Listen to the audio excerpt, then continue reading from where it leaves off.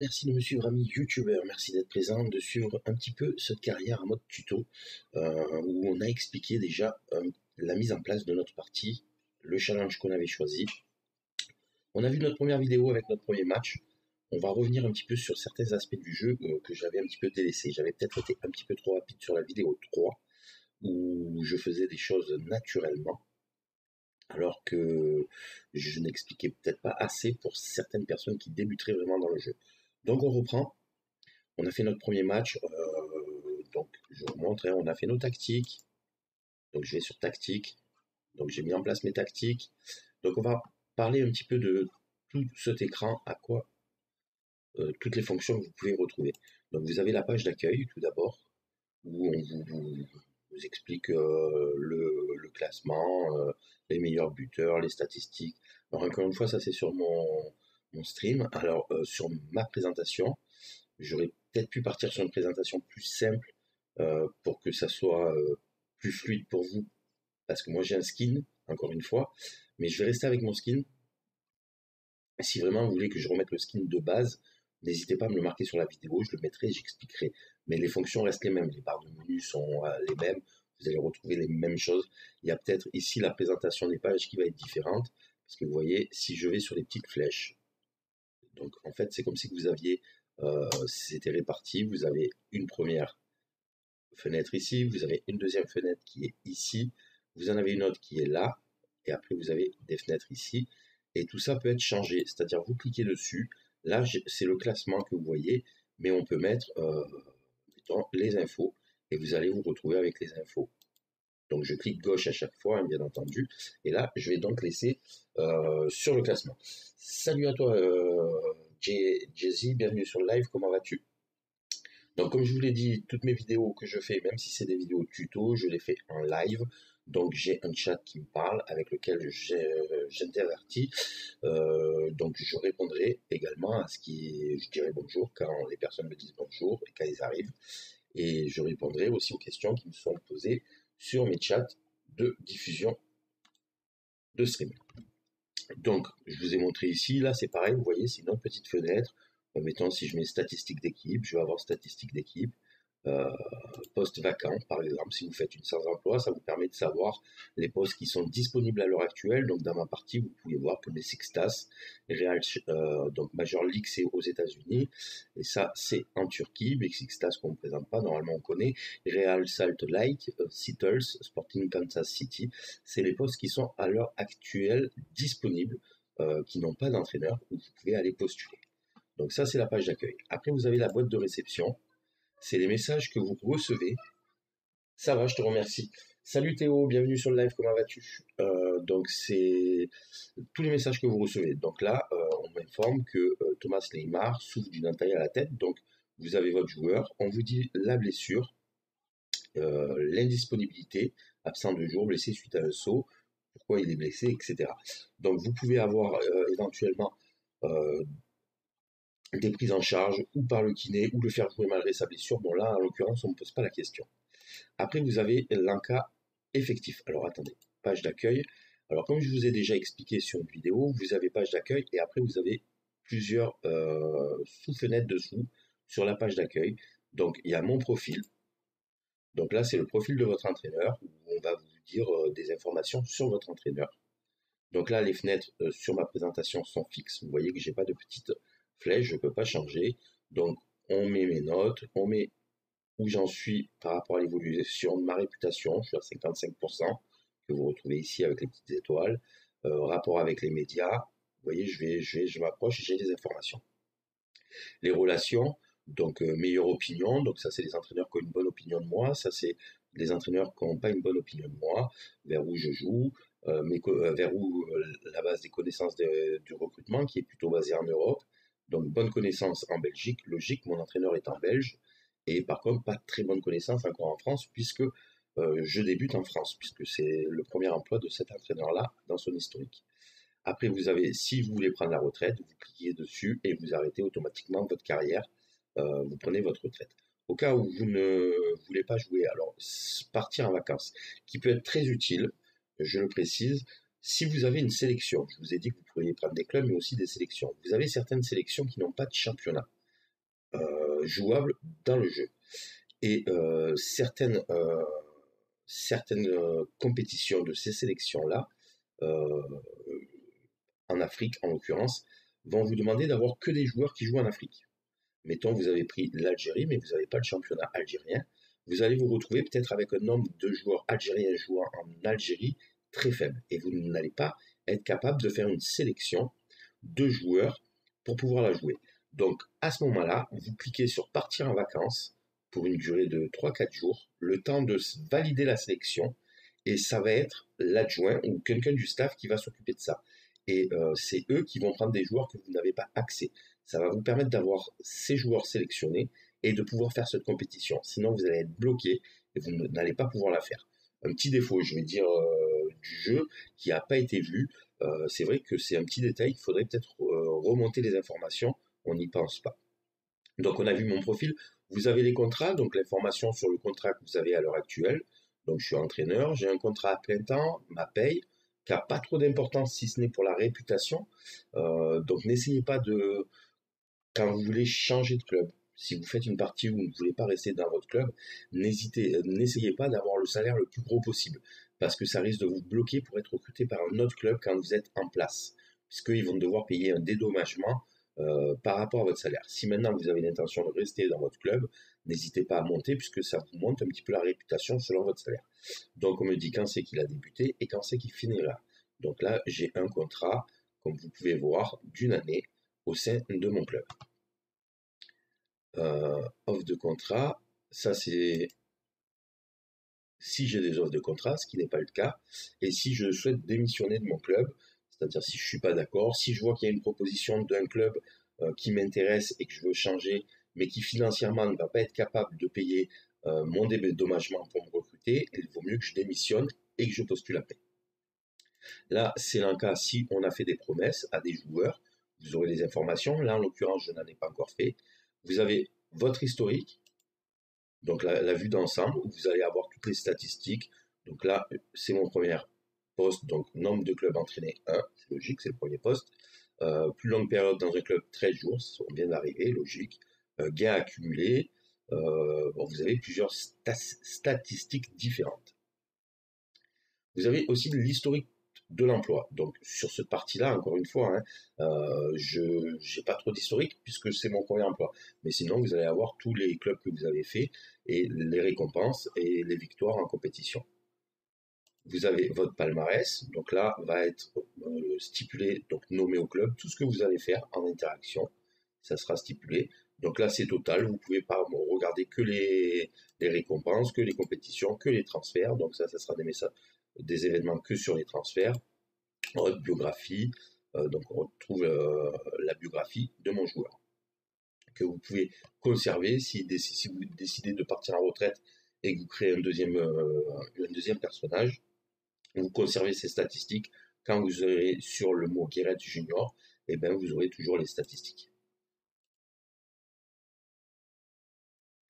Historique des conversations, ça c'est à chaque fois que j'ai parlé, avec qui, donc là c'est toutes les conversations que j'ai eues, donc là en l'occurrence avec le président, bonjour, de, voilà, on répète ma, discussion que j'ai déjà eue.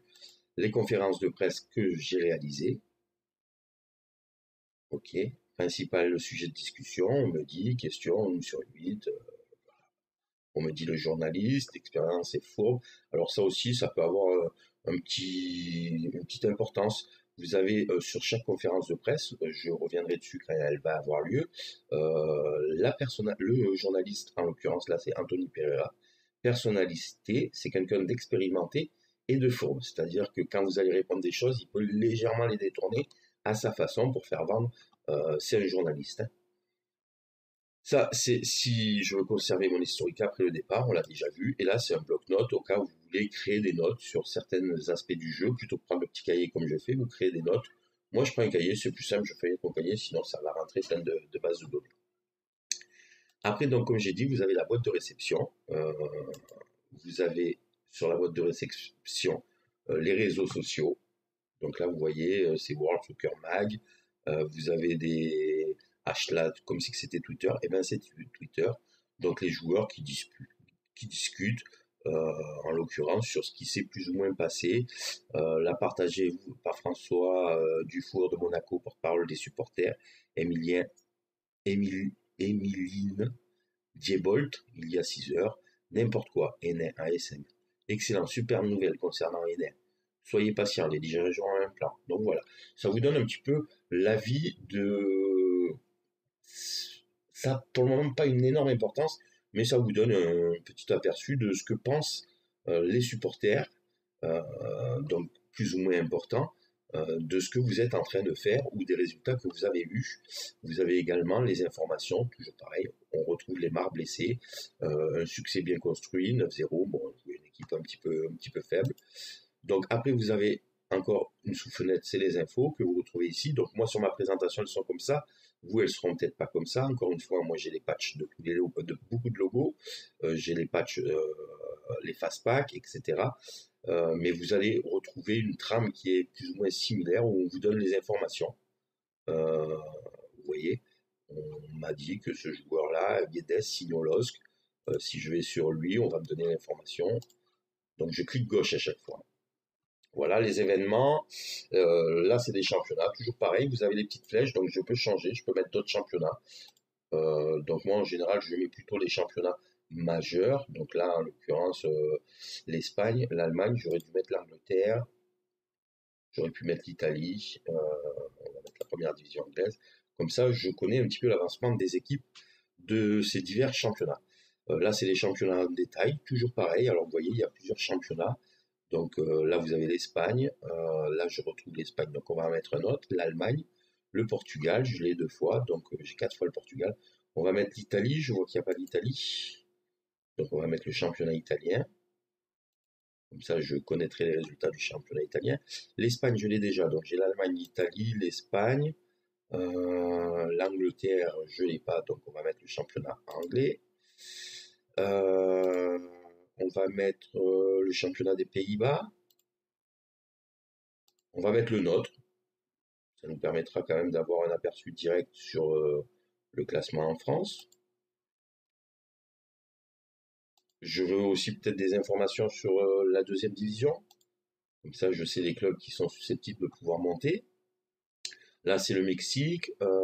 tournoi de clôture Mexique. Donc là, j'ai trois fois le Mexique, donc on va mettre un autre club. On va mettre la Turquie. Et on va mettre. Euh, donc vous voyez, je clique gauche hein, sur la petite flèche. Et après, j'ai d'autres flèches qui s'activent. On n'a pas mis la Belgique, on va mettre la Belgique. Voilà. Et j'aurai les classements quand ils auront euh, avancé voulu. Ce soir, Barça-Jules. Oui, ce soir, c'est la Champions League, effectivement. Donc, autour du monde, ça, c'est les messages que vous avez en Afrique importants, euh, en Europe important, en, Océanie, enfin les infos, pas les messages, en Asie. Donc dans chaque, continent, vous avez des choses plus ou moins importantes en information qui se sont passées euh, entre vos deux avancements euh, de date. Et la période des transferts, on me dit à l'heure actuelle, voilà, le SCO, il y a deux arrivées, un départ, on ne me parle pas de montant, c'est certainement des joueurs gratuits. Euh, et on va, par exemple, ici, on voit que l'Olympique lyonnais a déjà trois arrivées pour une, petite somme, donc ça ne doit pas être des grosses arrivées, et le LOSC de 2,5. Donc sur le LOSC, ça doit être Guedes qu'on parlait tout à l'heure. Euh, temps restant sur les transferts, il reste 8 semaines et 6 jours. Ça, c'est boîte de réception. Après, vous avez votre effectif. Donc votre effectif, Là, comme moi je suis en Vitrex, je l'ai en Vitrex. Mais normalement, sinon, c'est plus comme ça. Vous allez retrouver votre effectif. Donc ici, là, comme vous pouvez voir, joueur, info. Vous cliquez dessus et pareil, vous pouvez mettre ce que vous désirez mettre. Donc si vous voulez voir par rapport au contrat, vous mettez plutôt contrat, comme ça vous allez avoir les informations des contrats. Si vous voulez avoir par rapport aux statistiques en compétition, donc je vais sur statistiques, j'ai encore une autre fenêtre, une autre fenêtre, excusez-moi. Donc on peut mettre euh, sur la compétition, euh, mettons je vais jouer des matchs euh, de préparation, je vais mettre hors compétition et voir un petit peu les, les, les statistiques qu'ils ont hors compétition. Et vous pouvez également personnaliser en mettant personnalisé, c'est-à-dire vous modifiez l'affichage en cours Donc, vous voyez, moi j'ai le Vitrex, c'est-à-dire que je vais me mettre sur info générale. Vous pouvez, vous voyez, je vais sur poste et j'ai une petite fenêtre et je peux rapprocher les informations puisque là il y avait un grand vide qui me servait à pas grand chose et euh, pas ça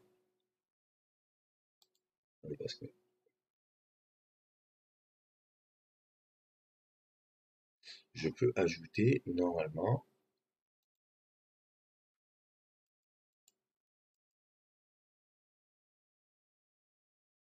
ça que je voulais faire ça doit être dans personnaliser.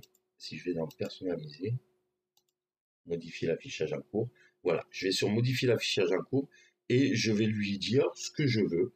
Euh, mettons je veux l'âge du joueur. Hop je vais cliquer euh, et j'aurai l'âge du joueur en plus.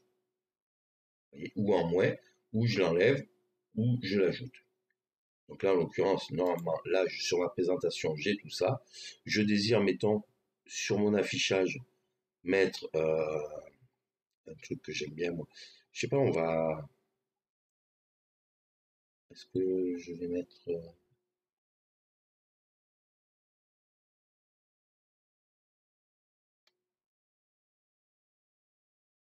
le pied qu'il utilise. Voilà. Hop, on va mettre le pied qu'il utilise. On va ajouter. Le pied gauche.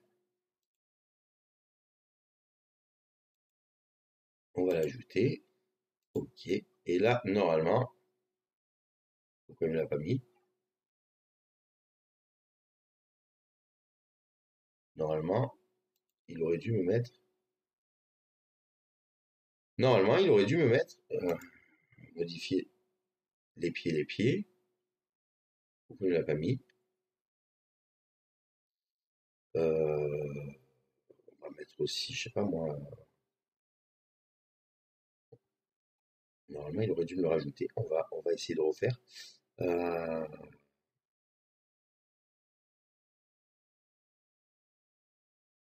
on va, on va ajouter la détermination. Comme ça, j'aurai la détermination ajoutée.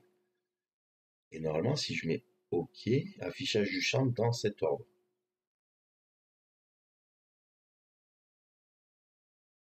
OK. Et pourquoi il ne me met pas?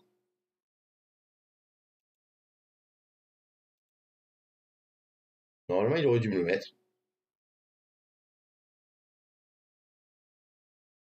Je dois mal faire quelque chose? Parce que, ah oui, parce que je pense que c'est parce que j'ai déjà le mien.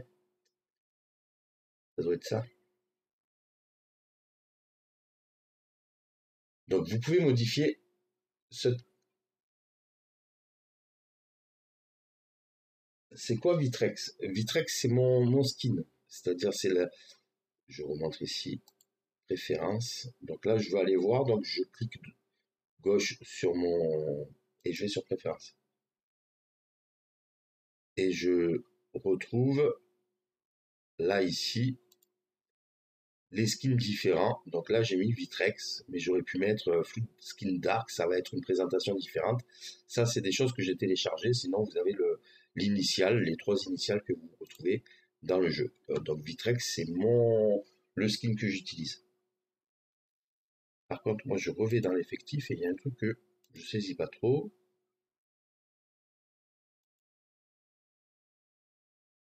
Donc là, c'est sur le Vitrex tout ce qu'il y a, on est d'accord. Que je comprends pas, on va sur info générale. Pourquoi j'ai pas eu modifier l'affichage en cours? Il m'a pas remis les pieds tout ça, ce qui est pas tout à fait logique. J'ai ajouté attaque? Normalement, je dois faire ça, je dois mettre OK, et je devrais me retrouver avec l'attaque. Ah, si, si. Là, j'ai une petite flèche plus. Voilà. On va décaler ça par là. Hop. Et j'ai une un petit plus. Je fais un petit plus.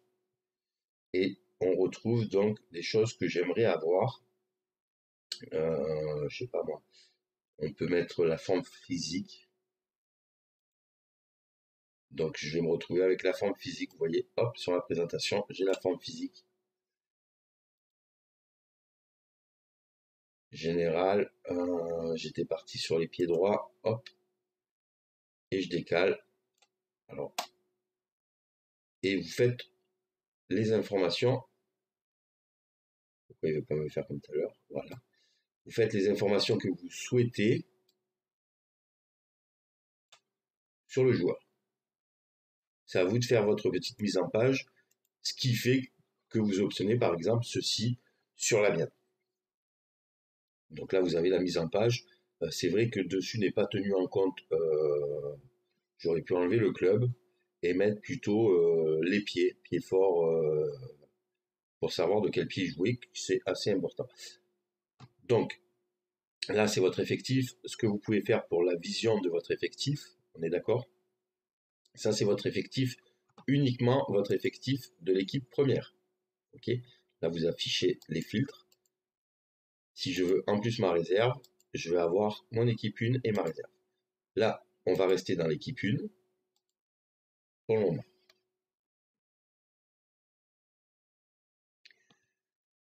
Donc, on a vu la modification ici. Ici, vous avez l'encas, donc les joueurs, les numéros. Donc, chaque joueur euh, a un numéro de maillot. Vous voyez, celui-ci, en l'occurrence, n'en a pas. Donc, à moi de lui mettre un numéro ou autre. J'aurai un moment la possibilité d'enregistrer mes numéros. Donc j'irai dessus. Vous avez euh, l'enregistrement. Donc ça, c'est tous les joueurs en enregistrement pour la Ligue 1 que vous allez pouvoir euh, faire jouer. Il va falloir qu'ils soient enregistrés. On vous dit que vous avez 99 joueurs dans l'effectif que vous pouvez enregistrer. Là, en l'occurrence, il y en a 75. Puisqu'il prend, là, il a enregistré euh, tous les joueurs de l'équipe 1, les joueurs de l'équipe 2, les joueurs de l'équipe 3. Donc vous pouvez modifier à votre guise ça, c'est si vous voulez mettre tous les joueurs. Donc là, vous avez l'équipe 1, l'équipe 2, donc la réserve, et les U19. Et exporter équipe pour un face-à-face, euh, ça, à mon avis, c'est si vous voulez prendre une équipe de l'extérieur, que vous auriez sauvegardé sur une partie, et la mettre. Mais j'ai jamais utilisé. Donc on va pas rentrer dans ça. Euh, pas, je, ne veux pas vous dire de bêtises là-dessus puisque je ne l'ai pas utilisé. Comme je vous dis, c'est un jeu, j'ai beau y jouer beaucoup, il y a des choses que je n'ai jamais utilisées. Euh, donc là, c'est les internationaux. Donc si j'ai des joueurs qui sont en sélection nationale, internationale, ils y sont pas. Et euh, s'il y en a qui sont dispo pour les matchs amicaux en sélection, parce que vous pouvez leur interdire d'y aller. En général, c'est mal pris. Là, vous avez des joueurs que vous prêtez. À l'heure actuelle, je prête euh, Ilyes. Donc, il est prêté à Ajaccio et vous avez un petit peu ce qu'il a fait jusqu'à maintenant. Donc ça, c'est mon joueur. Il a joué 62 minutes, il a aussi 70, sa condition physique, etc. Les absences prolongées, il n'y a pas. Et là, c'est si vous voulez faire une réunion avec les joueurs, en général, en début de saison, on ne vous octroie pas trop l'opportunité de faire une réunion avec les joueurs. Donc là, on a vu l'effectif. Pareil, euh, choisir sans restriction, vous pouvez euh, sauvegarder la section d'équipe. Comme ça, hop, vous la rechargez directement. Ça vous met votre équipe. Donc, vous avez des aspects ici. Vous avez, comme je vous l'ai montré tout à l'heure, les filtres. Mettons, vous voulez voir que les gardiens. Hop, vous allez faire ça et vous aurez que les gardiens de but. Comme ça, vous savez combien vous en avez. En général, euh, voilà. Vous pouvez classer vos joueurs quand vous les regardez mettons, vous voulez les classer par la forme physique, euh, vous allez ici et vous les classez par la condition physique. J'ai cliqué, vous voyez, juste je clique, les plus faibles ou les plus forts en condition physique. Vous voulez les classer par le poste, vous les classez, vous allez sur poste, vous cliquez sur le poste et ça va vous les classer par poste. Chaque joueur a une information, ça vous évite de rentrer dans le fichier. Donc si vous allez sur le petit i information, vous allez sur le petit information et vous avez les informations de votre joueur, donc son âge, sa nationalité, euh, voilà, ses notes, euh, sa forme, donc il y a un petit... Et pareil, si je veux des informations un petit peu différentes, j'ai toujours les petites flèches ici qui peuvent me donner euh, statistique de la carrière. Mettons, je m'en fiche un petit peu, je veux, euh, je sais pas moi, quelque chose de, je veux la forme, parce que là je vois que je l'ai pas je ici aucun match joué. Voilà.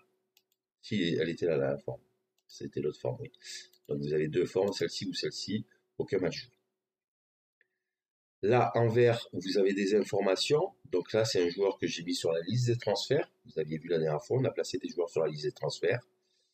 Et que je propose également en prêt. Alors après, euh, là, je vous ai montré en général. Maintenant, j'ai les informations sur chacun de ces joueurs.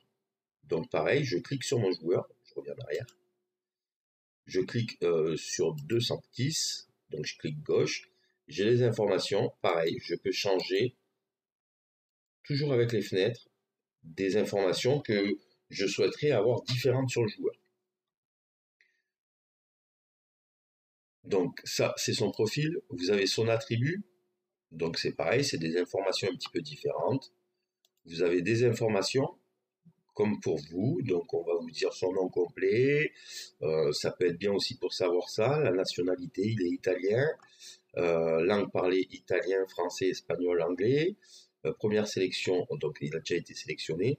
Et donc vous voyez que pour avoir la nationalité française, il faut qu'il fasse 1825 matchs en France, à l'heure actuelle, 1825 euh, jours pardon, en France. À l'heure actuelle, il a fait 14 jours, ce qui fait qu'il lui faudra encore 1811 jours pour prétendre à avoir la nationalité française. Alors ça, ça peut être utile à savoir quand vous avez un joueur euh, qui, qui est extra-communautaire, et eh ben des fois c'est bien de le prêter en France, comme ça, à un moment ou un autre, il sera plus considéré comme extra-communautaire si vous en avez trop au niveau des enregistrements. On y reviendra tout à l'heure. Donc les projets, retraite du football international, donc voilà, aucun projet, positif, heureux d'avoir signé, enthousiaste dans l'idée de pouvoir prouver sa valeur, voilà, on vous dit un petit peu les... Après, vous avez les personnes avec qui il s'entend bien, enfin les personnes qu'il préfère, donc c'est sûr que si ce joueur n'est pas très bien dans votre club, vous allez voir Antonio Cassano par exemple, et vous le faites signer dans votre club, et eh ben euh, ça va lui rebooster le moral parce qu'ils se connaissent bien. Ça, ça, envoyer en stage de formation. Donc pour l'envoyer en stage de formation,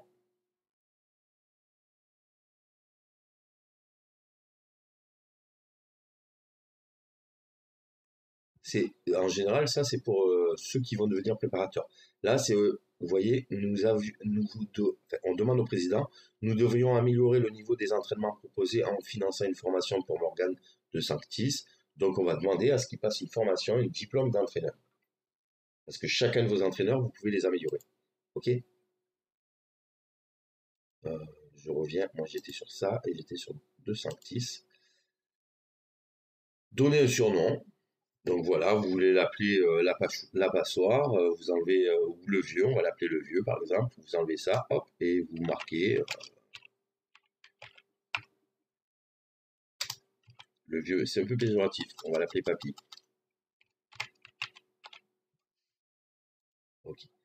Et donc, là, vous voyez en haut, c'est plus marqué euh, 256, il s'appelle toujours 256, mais vous, vous l'aurez à titre de papy. Voilà. C'est un petit peu le papy de l'équipe. Euh, je supprime le surnom. Et il se rappelle de nouveau Morgan de Sanctis. ok sur, euh, donc si vous mettez ça, vous allez suivre son, son évolution. Il est dans notre équipe, ça ne sert à pas grand-chose. L'info du contrat, donc on va vous dire le contrat, tous les aspects de son contrat. Euh, il est plutôt considéré comme inutile. Ça, c'est si vous voulez lui proposer un nouveau contrat. Donc on l'a déjà fait tout à l'heure, j'étais euh, sur les vidéos précédentes, pardon. Donc si vous voulez que ce soit le directeur sportif qui négocie ça, si vous voulez le licencier ou résilier à la miable, ou le libérer. Alors le libérer en général c'est qu'elle n'a plus de contrat. Sinon le licencier ou résilier à la miable, euh, ben, vous allez payer euh, un petit peu des, des frais. Donc je suis passé par là hein, sur le menu, mais vous allez voir qu'on peut passer par, autre, par un autre moyen. Transfert, disponibilité des transferts, offre des transferts, proposer au club, ajouter les, indésirables, vendre au prix demandé, vendre à sa valeur, vendre à moitié prix. Ça, c'est pour éviter que vous avez des, offres euh, pourries sur ce que vous proposez. Vous allez sur disponibilité, comme j'ai fait tout à l'heure. Vous l'avez stipulé en liste des transferts. Là, nous, il est en liste des transferts gratos. Donc, le mec qui le veut, il l'aura gratuitement. On était sur 210. Voilà. Là, c'est les progrès, entraînement, encadrement. Donc, euh, c'est des sous-fenêtres. Vous allez avoir des où il progresse, où il régresse, des informations différentes, la forme physique, ce qu'il est en train de travailler. Donc, le poste à l'heure actuelle et son rôle, c'est gardien libéraux. Domaine additionnel, il n'en a pas. Je pourrais lui donner un domaine additionnel, mettons lui dire de, de jouer correctement au pied. Donc, il va travailler les passes en plus. Nouvelles caractéristiques. Donc là, on prend plutôt un entraîneur gardien. Et on va lui dire entraînement au passe, par exemple. Et il va s'entraîner à faire des passes un peu plus gros. Enfin, là, on va avoir Flavio. Bonjour, de quoi souhaitez-vous? Donc il va, on va lui dire qu'il simplifie son jeu de passe ou euh,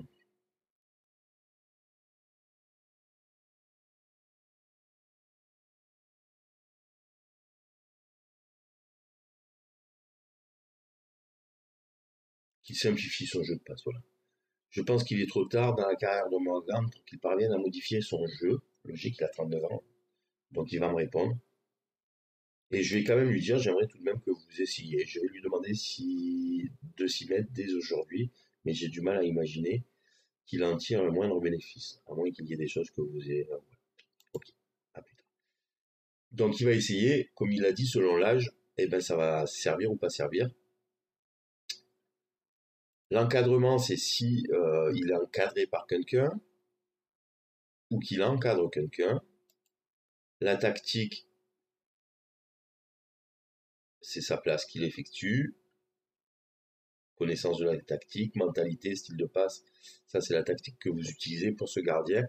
Et vous voyez, il est ici, aucun match joué. Avec les détails, avec les matchs avancés, on aura un peu plus de détails. Là, je vais sur des, choses où je ne vais pas avoir beaucoup d'informations, donc j'y reviendrai plus tard sur les vidéos, sur, ces aspects des progrès, puisque logique, on n'a pas fait grand-chose. Les rapports, donc j'ai le rapport du préparateur, il va me dire les pour et les contre de ce joueur, ne joue qu'un pied, euh, nous possédons un effectif, voilà. On me dit les plus et les contre. Donc ça, c'est ce préparateur-là. Je veux que ça soit un autre préparateur qui me dise, il va me dire, donc apparemment il me dit la même chose. Euh, si je prends un préparateur gardien, vous voyez ici, par contre, ça a bougé. Je remets, on était sur lui, évaluation du joueur 12, évaluation du potentiel 11. Et je vais sur Flavio Roma qui est gardien, évaluation du joueur 1, évaluation du potentiel 1. C'est pour ça que je vous dis, vous fiez pas toujours aux étoiles, à ce que vous voyez, ça va dépendre du préparateur. Donc là, c'est le deuxième meilleur gardien de mon club avec le potentiel actuel. Compatibilité avec le rôle, on voit que pour le moment, gardien libéraux, il a du mal. Polyvalence, résumé du préparateur, bon joueur. Ça, c'est Flavio Rova qui le dit. Si je prends un autre préparateur gardien, lui, il met 11 et 11. Flavio, Rova, Flavio Roma, il est plus dur avec lui. Là, il lui met 13 et 13. Donc, ça va dépendre du préparateur que vous avez. Alors après, peut-être que Flavio Roma s'occupe que des équipes réserves et qu'il le connaît moins. Ce qui est possible aussi. J'ai pas fait attention à ça. Donc, euh, les statistiques, on n'a pas joué de match. Donc, pareil, forme et analyse, on n'a pas joué de match. Donc, si je vais dessus, je ne vais pas avoir beaucoup d'informations. Historique des conversations, c'est si on a parlé avec lui. Euh, là, c'est les conseils qui me conseillent euh, une personne du staff, un joueur ou autre. Des fois, c'est utile quand votre joueur il n'est pas dans les meilleures conditions. Et ça, c'est si vous décidez, décidez, de le féliciter. En général, ça, féliciter ou critiquer, c'est selon la maison, selon la saison, les statistiques qu'il aura. Là, c'est si je veux le comparer. Donc là, vous voyez, je vais le comparer avec un de mes gardiens. Donc le petit jeune que j'ai monté, donc vous avez graphiquement la comparaison. En vert, c'est Morgan de Santix. Et le petit jeune que j'ai monté, Loïc Badiachil, lui, il est en bleu. Donc ces notes sont plutôt en bleu rapport. Alors vous avez vite, c'est un tout petit ici. Si vous voulez voir un petit peu plus simplement, moi je préfère celui-ci, vous voyez plus rapidement. Donc pour le moment, il n'y a pas photo. De Sanctis c'est bien meilleur que euh. Sauf que De Sanctis a 39 ans et que lui, il a 18 ans.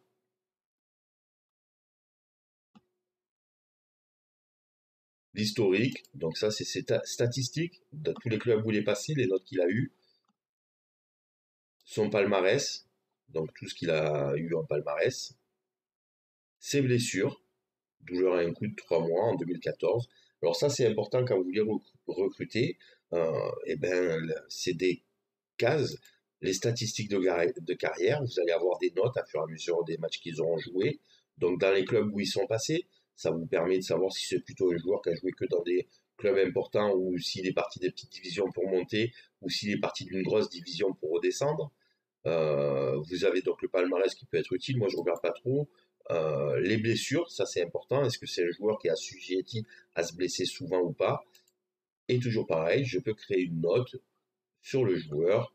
Je m'écris une note et j'écris ce que je veux euh, sur le joueur. Donc, tout ça, ce que je viens de vous montrer, on est passé par les fichiers en haut. Mais si je vais sur le joueur et que je clique droit, au lieu de cliquer gauche, et eh bien tout ça, je peux le faire par des sous-fenêtres, lui dire qu'il peut jouer en équipe réserve pendant 90 minutes, ou le temps qu'il récupère.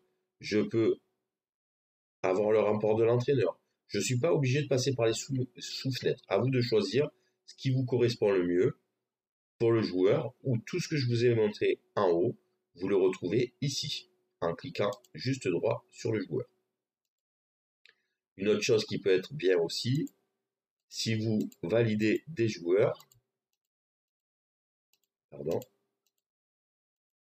que vous allez faire sur un joueur, normalement, si je fais transfert, proposer au club, transférer, tous les joueurs que vous avez validés, vous allez leur donner la même chose, leur dire la même chose. Le calendrier. Donc le calendrier, vous allez retrouver les matchs que vous disputez, que vous allez disputer, où on vous dit, donc si c'est à l'extérieur, match amical. Toute compétition, vous pouvez mettre les matchs que vous voulez. Je vous conseille de laisser quand même toute compétition, c'est toujours mieux.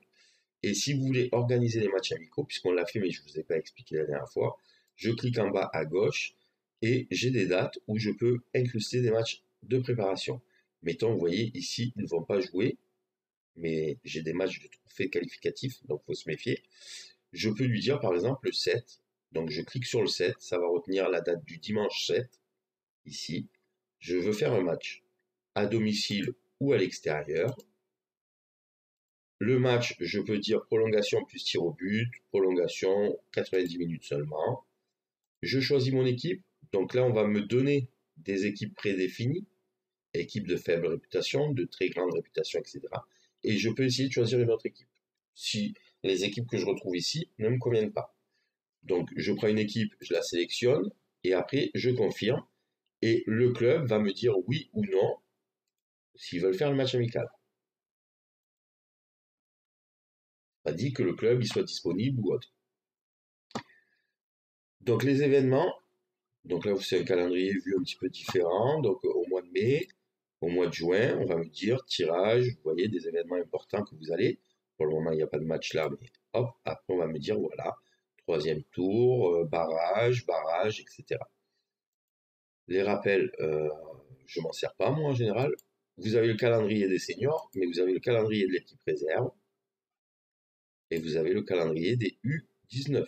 Donc là, en l'occurrence, mes U19, eux vont jouer en championnat. Mon calendrier de mon équipe réserve,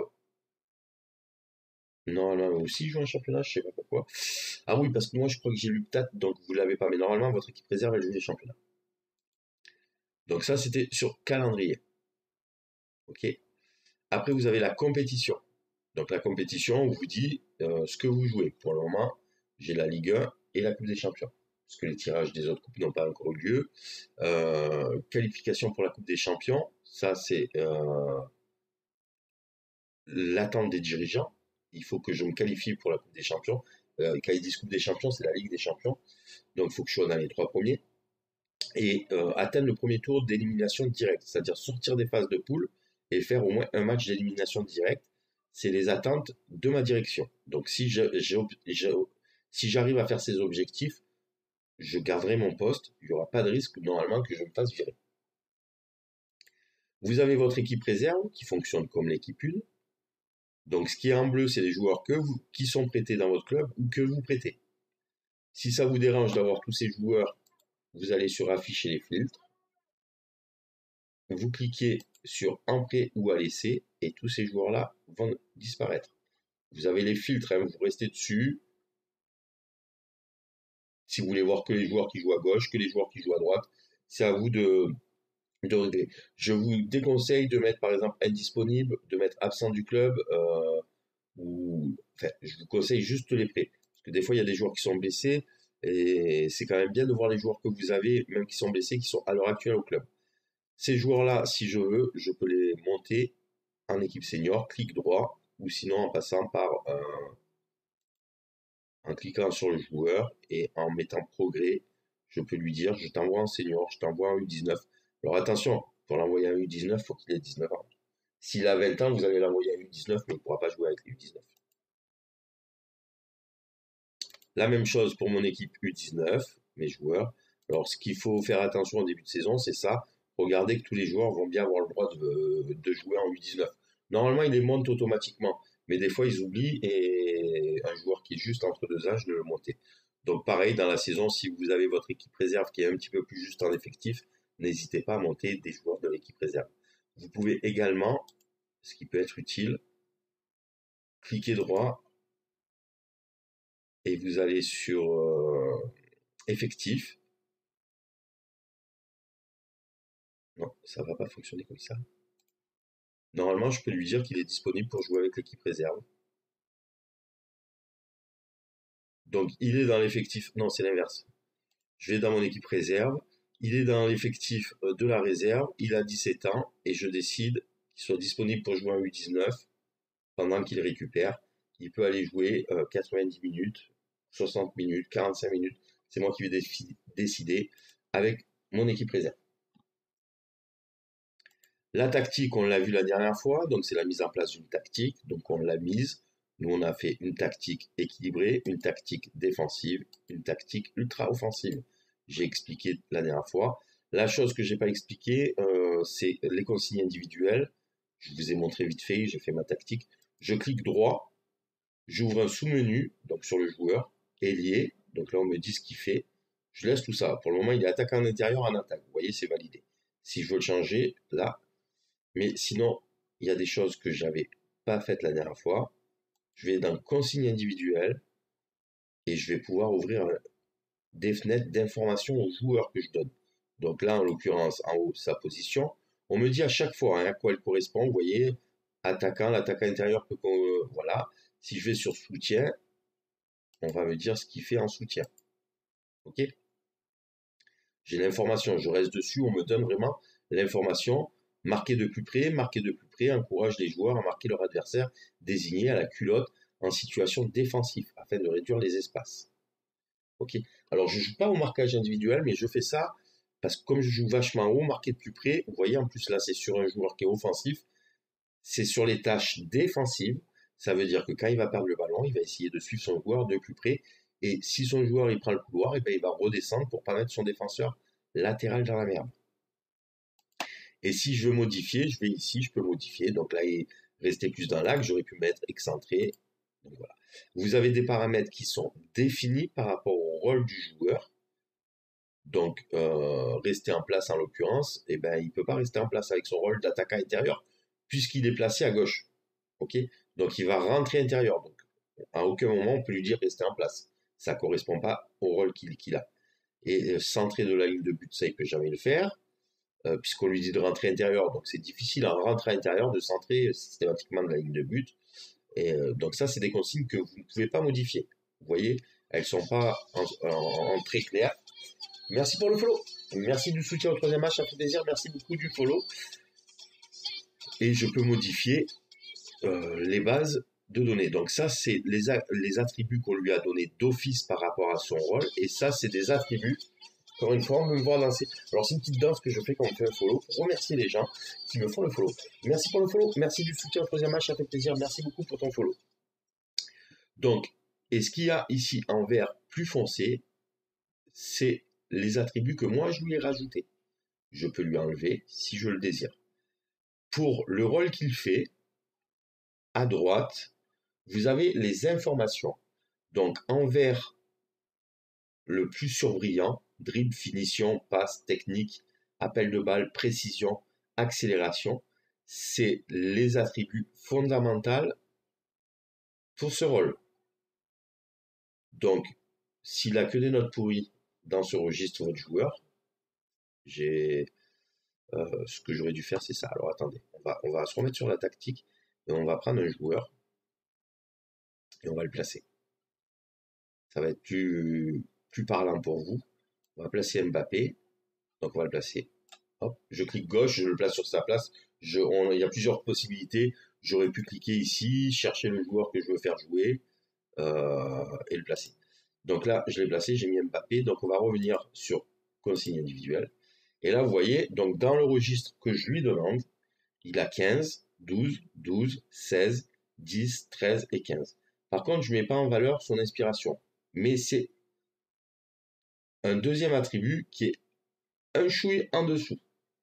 C'est important, mais un, petit peu en dessous. Alors, je vais revenir après pourquoi je, c'est important ça, parce qu'il y a des rôles, des fois, quand on cherche des joueurs. Donc là, je vais lui changer sa fonction. Mettons, je vais lui mettre meneur. Et vous voyez qu'on ne me demande pas les mêmes attributs, ce qui est tout à fait logique. Donc nous, on va le laisser comme on l'avait mis. Euh, je l'avais mis de soutien ou en attaque? Je ne sais plus. Je ne sais plus si je l'avais mis de soutien ou en attaque. L'autre côté, il est comment? L'autre côté, j'ai mis attaque à l'intérieur. Et là, j'ai mis attaque à l'intérieur. Mais là, ça aurait été peut-être mieux qu'il soit en soutien. Parce que j'ai un autre gars à côté. On va mettre plutôt un soutien et en attaque. Voilà. Pour les attributs. Donc, on reviendra plus tard dans les recherches, tout ça, sur ces attributs qui sont quand même importants, je le précise, parce que souvent, euh, quand on a l'attaquant, on veut de la finition. Mais si je vais sur mes rôles des attaquants, la finition, là, pour un attaquant complet, c'est pas l'attribut le plus important, contrairement à ce qu'on croit. C'est plus important qu'il sache contrôler un ballon, qu'il sache dribbler, qu'il sache faire des passes techniques, tête, tir, vision du jeu. Et ça, c'est pour l'attribut complet. Si maintenant je mets attaquant défensif, vous allez voir que toute la première colonne, on n'en a rien à faire. C'est des attributs qui n'ont aucune importance. Il faut que ça soit, c'est un attaquant défensif, il faut que ça soit la deuxième colonne qui soit plus importante. Activité, agressivité, collectif, courage, détermination. Donc c'est pour ça que vous dites pas c'est un attaquant, faut de la finition. Non, ça va dépendre du rôle que vous lui donnez. Si c'est un attaquant sur pivot, son jeu de tête va être important. Voilà. Alors, j'ai un petit truc à, dire quand même. Ça, c'est caricature, qui est une mauvaise caricature pour moi. Quand on dit attaquant pivot, jeu de tête. Non, un attaquant pivot, c'est quelqu'un qui sache conserver le ballon dos au but. Alors, si il a un jeu de tête, c'est parce qu'on va chercher des ballons hauts. Mais un attaquant qui est assez, qui n'est pas forcément grand, peut avoir un bon jeu de pivot. Par contre, si on joue sur lui dans les pieds. Maintenant, là, dans le jeu, en l'occurrence, va falloir qu'il ait un jeu de tête. Je dis ça parce que moi, en ce moment, je joue attaquant et je suis plutôt attaquant pivot et je suis pas très grand. Mais j'ai un jeu de tête plus que convenable, puisqu'avant j'étais gardien, mais j'ai une bonne détente. Mais mon jeu principal, c'est de conserver. Euh, j'ai 47 ans, j'ai plus trop de vitesse. Euh, si on m'envoie dans les couloirs, je vais avoir du mal. Donc, chaque attribut, eh ben, va demander une caractéristique différente.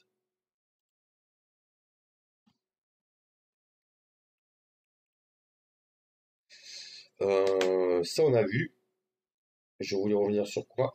Alors, je reviens sur tous ces détails parce que c'est vrai que la dernière fois, j'ai trouvé que j'avais été un petit peu vite en besogne sur le sur le match parce que ben on veut voir le match et que j'avais passé plusieurs aspects du jeu qui pour moi euh, sont élémentaires. Excusez-moi, je regarde les consignes de ce que j'avais noté qu'il fallait que je, je parle. Et et j'avais zappé certaines consignes qui, des choses que j'avais fait machinalement, qui pour vous ne sont pas forcément. Euh, Alors je peux ajouter également des joueurs, vous voyez. Les joueurs ajoutés ici suivront leurs propres consignes spécifiques lorsque lorsqu'ils évoluent au poste sélectionné. Au cas où vous voulez mettre un joueur qui n'a pas forcément les acquis demandés pour le rôle qui, que vous avez dans votre tactique. Mettons, j'aurais voulu que euh, Kylian Mbappé, eh ben, il fasse pas ça. Je le rajoute ici en joueur. Et quand il va jouer à ce poste, il va prendre ce qu'il préfère faire. Donc, si je vais sur Kylian Mbappé, en l'occurrence, il préfère être milieu, attaquant intérieur de soutien. Donc, quand il va venir se positionner ici, il va pas faire attaquant-attaque, mais attaquant de soutien, chose que j'aurais pu faire. Euh, et euh, il, prendra peut-être pas ces deux attributs en compte. Donc, je vous déconseille de le faire. Donc, ça, c'est les différents aspects du jeu. Encore une fois, j'ai réglé ma tactique. Vous avez toutes les informations. Moi, j'ai mis offensif, on me dit cette stratégie est sur voilà je vais pas vous dire tous les pavés mais chaque stratégie est différente. Vous avez la fluidité c'est la même chose. On vous explique ce que c'est. Prenez le temps. N'essayez pas d'aller trop vite pour faire les choses. Ça c'est la tactique que vous avez au début du match et sur l'animation normalement plutôt défensive de votre équipe. Ok? Sauf que euh, j'ai certaines consignes.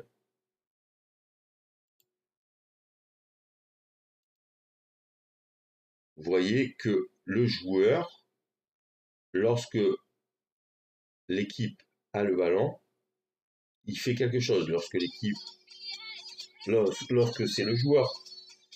Merci du follow, merci du soutien au troisième match, ça fait plaisir, merci beaucoup pour le follow. Lorsque c'est le joueur qui a le ballon, il fait autre chose. Donc, forcément, quand vous allez attaquer, vous êtes sur une tactique comme ça. Ça, c'est deux attaquants qui vont rentrer à l'intérieur. Donc, quand vous allez attaquer, ça va être concentré sur l'axe. Ça, c'est des latéraux offensifs complets qui vont monter, amener un soutien. Ils vont être plus par ici. Le milieu, il va être plus par là. Lui, il va être plus en deuxième attaquant. Donc, la tactique, ça c'est la tactique de base, c'est pas l'animation, encore une fois. Votre animation va être par rapport aux consignes défensives, donc ils vont monter plus haut. Vous avez modifié certains aspects sur cette tactique. Si j'aurais marqué euh, plus large, en défensif, sur mes latéraux, eh ben quand, quand, quand en défensif, ils vont avoir tendance à aller chercher les ailes. Alors que moi, en l'occurrence, j'ai pas demandé ça.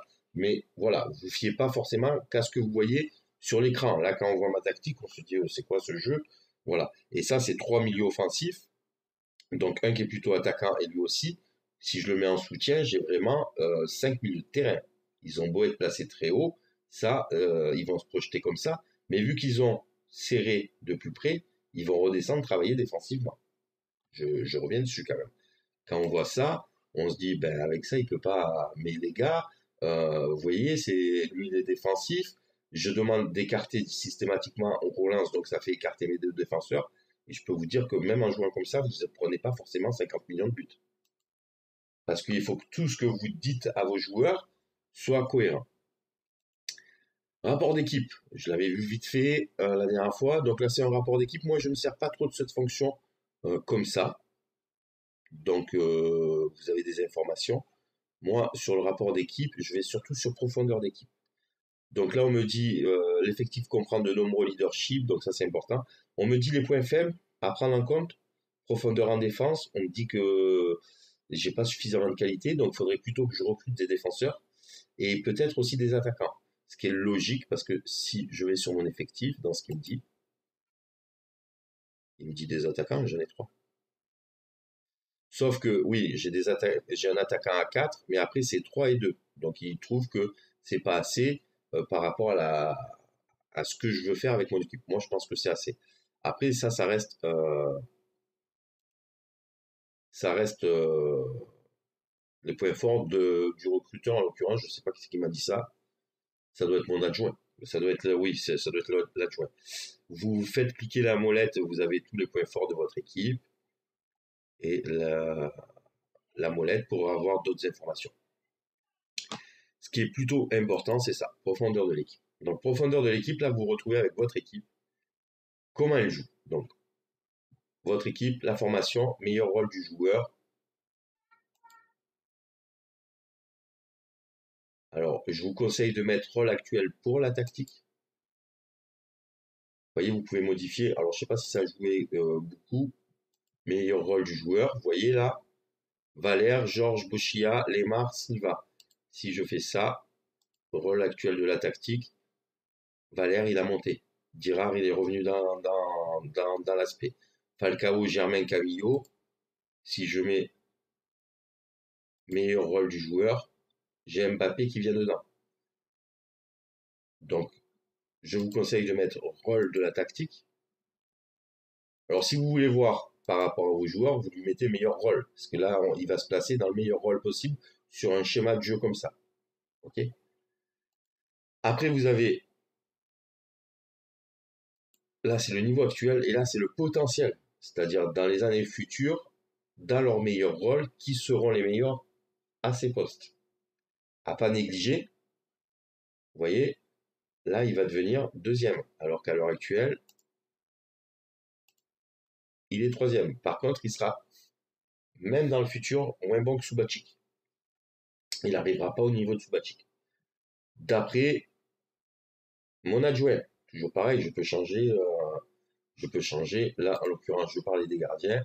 Je peux prendre un entraîneur gardien qui lui sera plus apte à me dire dans le futur s'il peut le dépasser ou pas. Vous voyez, il a rajouté une petite étoile. Ok? Donc ça, c'est des choses, ça vous donne vite fait l'évaluation de vos joueurs. Donc mettez plutôt euh, au rôle actuel de la tactique ça va vous donner le nombre d'étoiles et ça va vous dire, voilà, vous voyez, Silva, il va plutôt jouer ici plutôt que là, parce que là, il aura deux étoiles, alors que là, il en a quatre et quatre. Ça sera pareil pour lui. Neymar, il peut jouer à peu près sur les trois flancs, mais il préférera en 10. Vous voyez? Alors là, c'est vrai que j'aurais pu mettre soutien, parce que j'ai mis attaque à l'intérieur, mais j'aurais pu mettre soutien. Et ça vous donne vraiment euh, l'ordre des joueurs qui ont le potentiel de jouer. Donc c'est vraiment important le rapport d'équipe qui a des fonctions quand même assez importantes. Les statistiques, on n'en a pas beaucoup, on n'a pas fait de match. Informations euh, diverses, joueur le plus jeune à Monaco en Ligue 1, joueur le plus âgé, c'est moi qui l'ai, âge moyen, donc 24, alors que la Ligue 1 c'est 25, donc j'ai une équipe plutôt jeune, le plus petit, voilà, taille moyenne, 1,80, je suis dans la moyenne, etc. Donc ça vous donne des infos. Et là, c'est si je veux comparer euh, par rapport moyenne de la Ligue 1. Au niveau de l'âge moyen, je suis plutôt en dessous. Au niveau de la taille, je suis plutôt au-dessus. Au niveau du poids, je suis plutôt en dessous. Euh, nombre de sélections, je suis plutôt au-dessus. Voilà, ça me donne des informations. Euh, si je veux savoir pour mes gardiens uniquement, je mets que mes gardiens.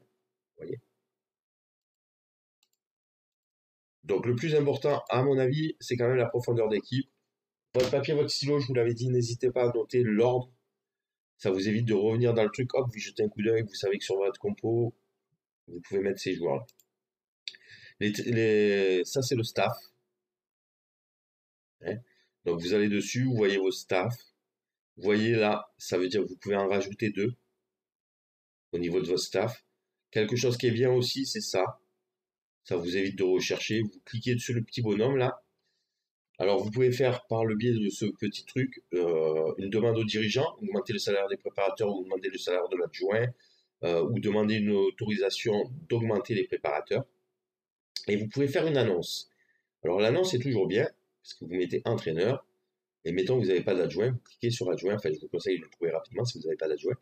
Et là, vous vous occupez de rien, c'est des gens qui vont venir vous proposer leur candidature. Alors ça, ça peut être bien sur certaines fonctions, comme l'analyse de données,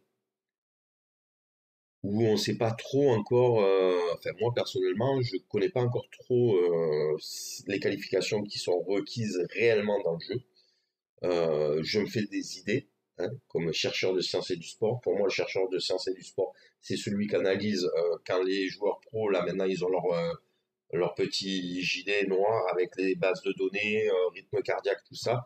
C'est ce gars-là qui analyse euh, le joueur dans l'effort, quand il monte en effort, s'il améliore ses qualités physiques, euh, tout ça, et qui travaille avec le staff médical pour éviter les blessures et pour voir l'amélioration du joueur. Euh, et l'analyse de données, pour moi, va être plus dans euh, les statistiques euh, du joueur, prestation en match, prestation à l'entraînement, parce que ça a été supervisé, on lui donne des chiffres, et par rapport à ça, il sait faire une petite courbe d'évaluation des joueurs. Je, je, situe ces postes-là. Alors, ça, c'est vu d'ensemble. Ça, c'est mes préparateurs. Donc là, on me donne plus en détail mes préparateurs. Donc, je vais dessus. Philippe Canon, responsable de la formation jeune. Je veux le voir. Même principe que les joueurs, hein, je vais dessus, je vais voir. Hein, ça vous rappelez, c'est moi qui l'ai recruté, puisque dans ce que je voulais faire, il me fallait vraiment quelqu'un de très très très compétent. Ça, c'est tout mon, mon, système équipe médicale, on va me dire ceux qui sont dans l'équipe médicale, équipement de recruteurs, équipe de, des recruteurs, et ça c'est pour tout le staff. Ok? Alors ça, c'est mon équipe 1. Ok, pareil, on me situe graphiquement où je me situe par rapport à la Ligue 1, la moyenne. Mais j'ai aussi mon équipe réserve. En bas, vous voyez, j'ai les équipes préparateurs de l'AS Monaco, c'est mon équipe 1. Équipe préparateur de la réserve, et sinon j'ai mes U19. Donc les fonctions sont pleines, mais quand je prends, j'ai un entraîneur, un préparateur physique, un préparateur physique, un entraîneur des gardiens, un entraîneur des gardiens, responsable de la formation. J'ai pas d'adjoint. Donc je regarde ici, je vois que je n'ai pas d'adjoint. Donc si je fais ça, je vous en parlais tout à l'heure, passer une annonce, et on va passer une annonce qui est déjà en cours pour un, entraîneur adjoint. Je l'ai déjà fait la dernière fois, et je ne voulais pas expliquer dans les détails. Euh, ça c'est pour mes U19, la même chose, vous pouvez cliquer, voir, etc. Donc, pourquoi je suis sur l'effectif On revient là. On a vu ça, les responsabilités. Ça, c'est les responsabilités, ce que vous voulez déléguer ou pas déléguer. Donc moi, je délègue quasiment rien.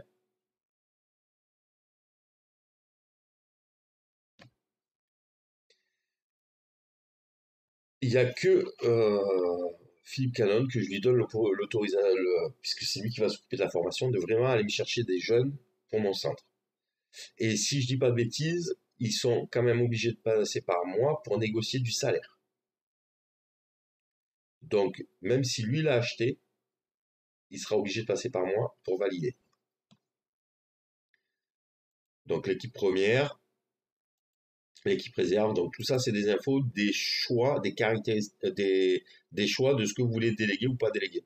Vous voulez pas vous occuper des matchs amicaux, vous cherchez matchs amicaux euh, dans vos entraînements d'avant-match, entraînements individuels. Il doit y avoir match amicaux à un moment, euh, équipe première. Gestion des matchs amicaux, vous voulez pas les gérer, vous déléguez, vous cliquez gauche, et vous dites à votre adjoint, trouve-moi des matchs amicaux. Ça, c'est pour rechercher votre staff avec des filtres pour aller plus vite. Les petites, n'oubliez pas qu'à chaque fois que vous avez ça, c'est des fenêtres que vous pouvez ouvrir. Ici, candidat réaliste, hein, à chaque fois. Parce que sinon, on va vous mettre des recruteurs, vous allez négocier. Mais une fois que vous allez arriver à pouvoir discuter avec lui, il va vous dire non, ça m'intéresse pas de venir dans votre club. Donc c'est du temps perdu. Ça, c'est au cas où vous avez mis euh, un préparateur ici, vous pouvez décider de l'ajouter comme un joueur dans votre sélection. Donc vous verrez ici, vous aurez déjà des staffs techniques sélectionnés. Bureau des emplois, c'est au cas où vous voulez changer de métier. Vous affichez. Alors par contre, ça sert à rien de mettre tous les jobs puisque vous n'avez accès qu'au job d'entraîneur.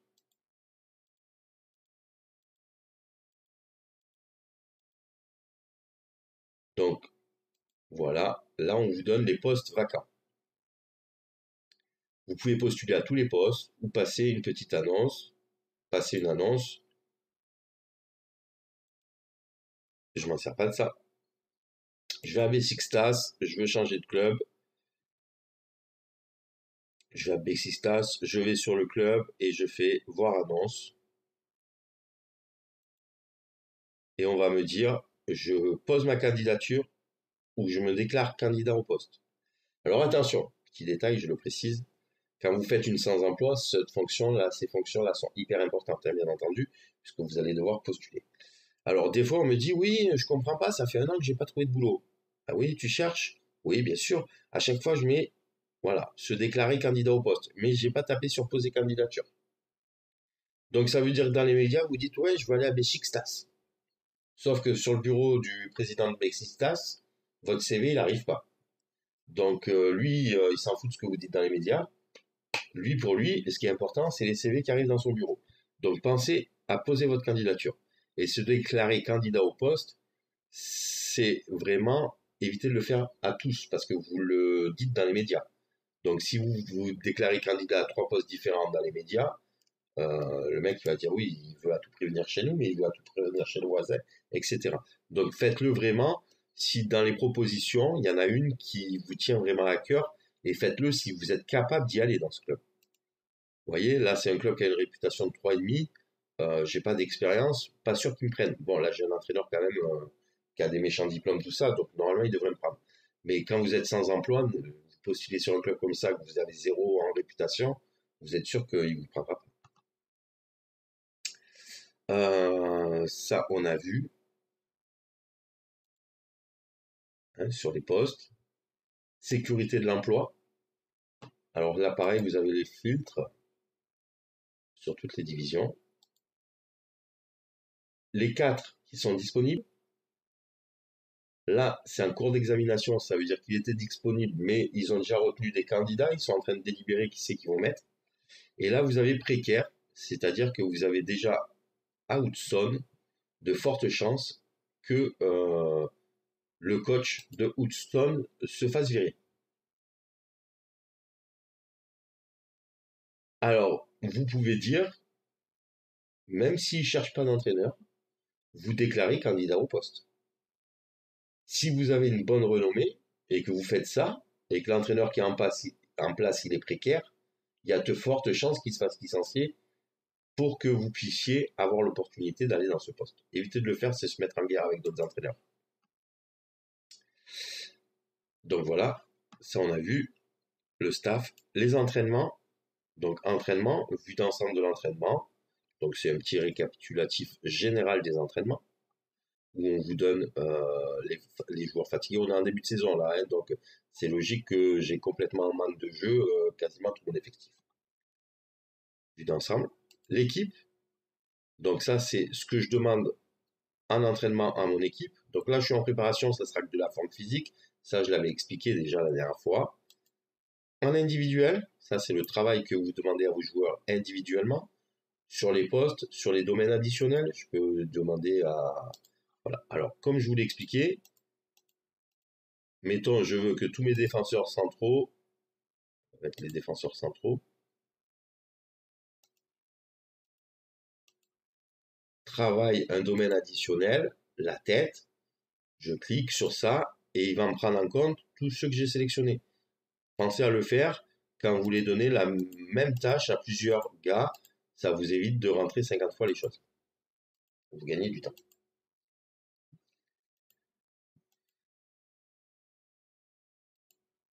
Pourquoi il ne l'enlève pas C'est pas grave. Individuel. Et là, c'est les préparateurs. Je vous l'ai montré la dernière fois. Au niveau de la préparation, vous voyez, ici, je suis en danger parce que en défense, je suis lourd, ça veut dire que j'ai pas assez de préparateurs qui travaillent sur ma défense. Donc on va y remédier. Je clique gauche, pas sur le nom parce que je vais avoir le nom direct. Je clique gauche, ça me permet d'avoir l'information sur le joueur qui est en surbrillance là, Ok. Si je fais ça direct, je vais rentrer sur le joueur. Alors faites attention de ne pas cliquer direct. Préparateur physique, préparateur. Donc défense 11, lui préparateur défense 11, préparateur défense 18.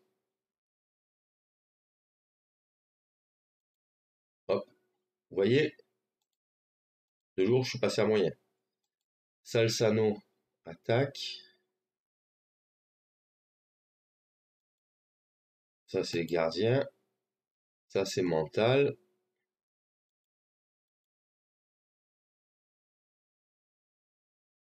J'ai beaucoup de, gars j'ai beaucoup de gars en attaque, mais pas trop en défense. Hein.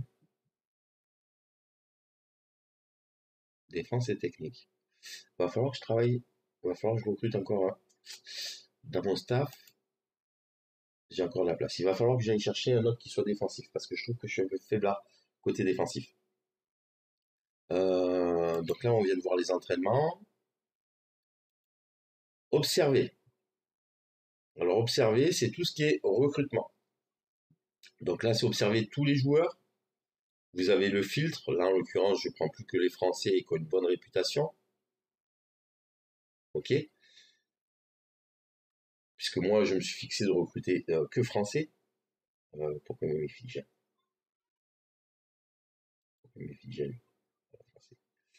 OK Là, c'est les joueurs que vous êtes en train d'observer. Alors attention, je viens d'acheter des recruteurs qui sont déjà en train d'observer des joueurs. C'est pas moi qui leur ai demandé, mais ils les observent. Donc ils finissent, ou parce que j'ai envoyé des recruteurs, observer dans certaines zones. Donc ils vont me donner des informations sur des joueurs. J'ai pas tout filtré pour que ça soit 100% français.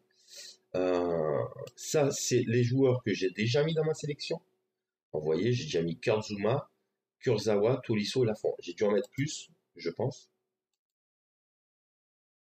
Non, j'en ai pas mis plus. Euh, il y en a un que je n'ai pas mis, c'est Kanté, je vais le mettre tout de suite. Euh, donc transfert réaliste ou transfert irréaliste, moi je vais laisser ça, c'est juste pour voir. Donc là je vais rajouter, alors je vais prendre Kanté, je sais où il, où il joue, je suis allé sur Chelsea, je vais sur effectif, et je vais sur Kanté, je clique droit, observer le joueur, ajouter à la sélection, et je vais le mettre un an. Chaque année, on va me dire, il s'enlève de la sélection, ou je le rajouterai, ou je, je l'enlèverai. Donc voilà, donc là dans ma sélection, je remets là, et dans ma sélection, je vais avoir Kanté en plus. Voilà, ça, si je fais transfert réaliste, on va voir que Kanté, il ne veut pas venir chez moi. Et ce qui est logique parce qu'il vient de signer à Chelsea, donc c'est même pas il veut pas venir chez moi, c'est que le transfert il n'est pas réaliste. De signer à Chelsea, je pourrais pas l'avoir. Ça, c'est au cas où je veux. Euh, donc, c'est ce qu'ils sont en train de faire mes, mes recruteurs. Prochain adversaire.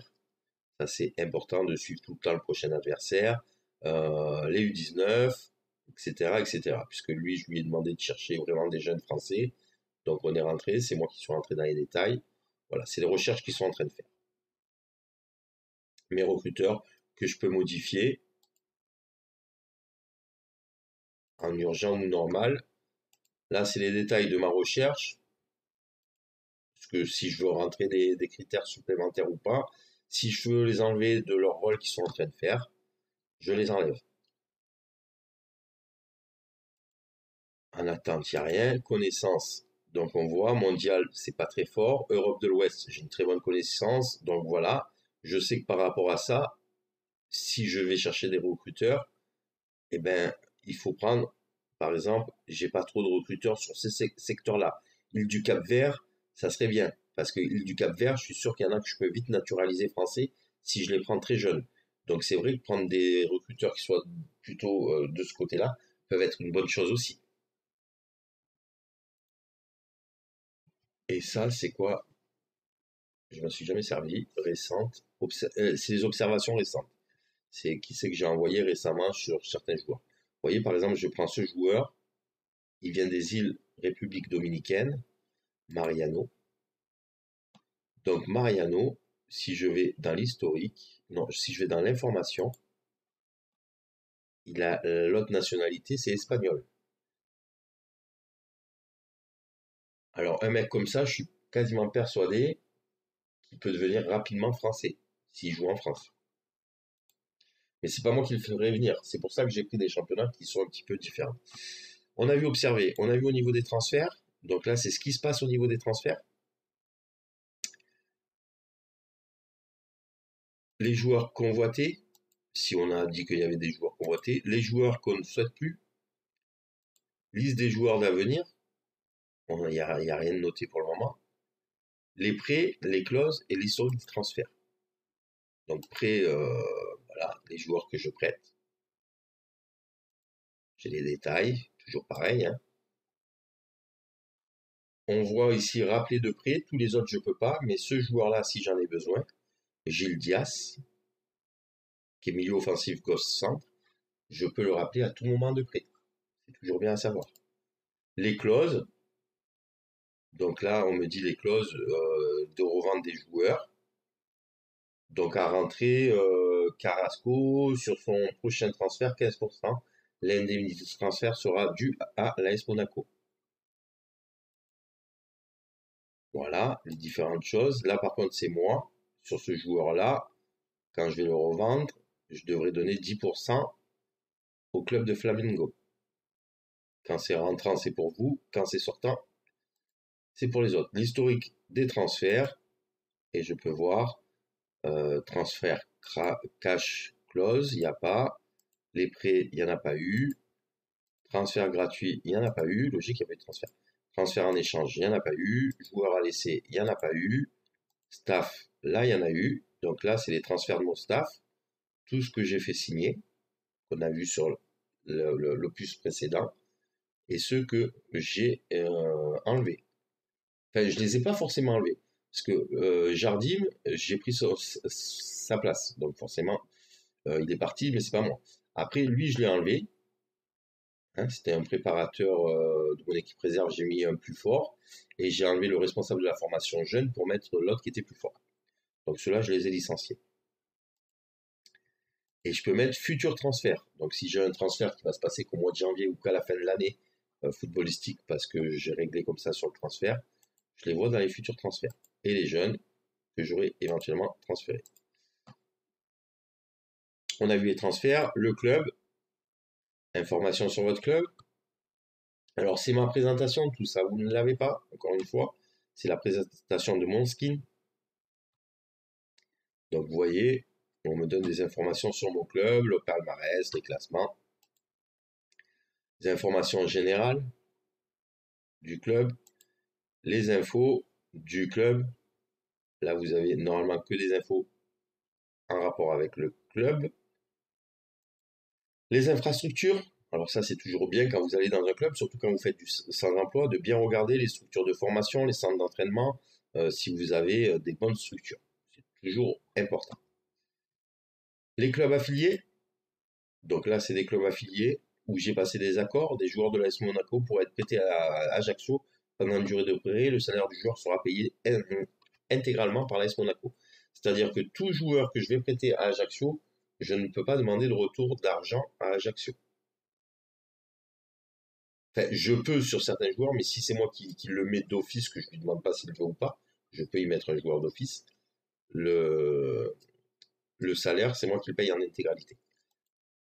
Alors, chaque, euh, vous voyez, chaque euh, accord, division régionale française, les dirigeants de Monaco ont une option sur les joueurs de Propriano dans la pratique, si une offre pour l'un de ces joueurs est acceptée par le propriano, une offre de Monaco de la même valeur doit être également acceptée. C'est ensuite au joueur de décider de son avenir. C'est-à-dire, si on vient lui recruter un joueur, d'office, on doit me dire, hop, je vends tel joueur un million, est-ce que vous voulez l'avoir pour un million? Ils n'ont pas le choix. Centre africain, Cercle de Bruges, voilà, ça c'est les clubs affiliés et vous pouvez avoir un, vous pouvez avoir un club affilié qui soit supérieur à vous selon euh, selon le niveau de votre club. Là, c'est un club de première division. En général, c'est plus des clubs avec lesquels on passe des accords de prêter des joueurs ou d'avoir une option sur leurs joueurs et qu'on leur donne un dédommagement. Mais si vous avez un petit club, euh, là, il n'y a aucun club qui sont proposés. Si vous avez des petits clubs, euh, eh ben, vaut mieux avoir un, club euh, principal, un club pareil, qui, comme Monaco, voilà, va vous prêter des joueurs ou autre. Après, vous avez l'historique, vue d'un compétition, donc tout ça, c'est des informations que vous allez avoir sur votre club, euh, meilleur 11, euh, etc. Dirigeant, alors attendez, dans le club, c'est bon. Dans le club, euh, vous avez vous là, j'ai oublié tout à l'heure. Ah oui, moi j'ai les diplômes euh, max. Quand vous n'avez pas les diplômes max, vous avez dans votre profil euh, l'option faire une formation. Alors faire une formation, faites attention, ne demandez pas une formation si vos joueurs ne sont pas en vacances. Sinon, elle va vous être la plupart du temps refusée. On va vous dire, on a besoin de vous au club. Donc ça sert à rien de demander une formation. Et la formation demandée va être passée par le club ou validée ou pas validée. Du moment que vous avez une, formation de validée, c'est-à-dire le club vous autorise, vous êtes inscrit.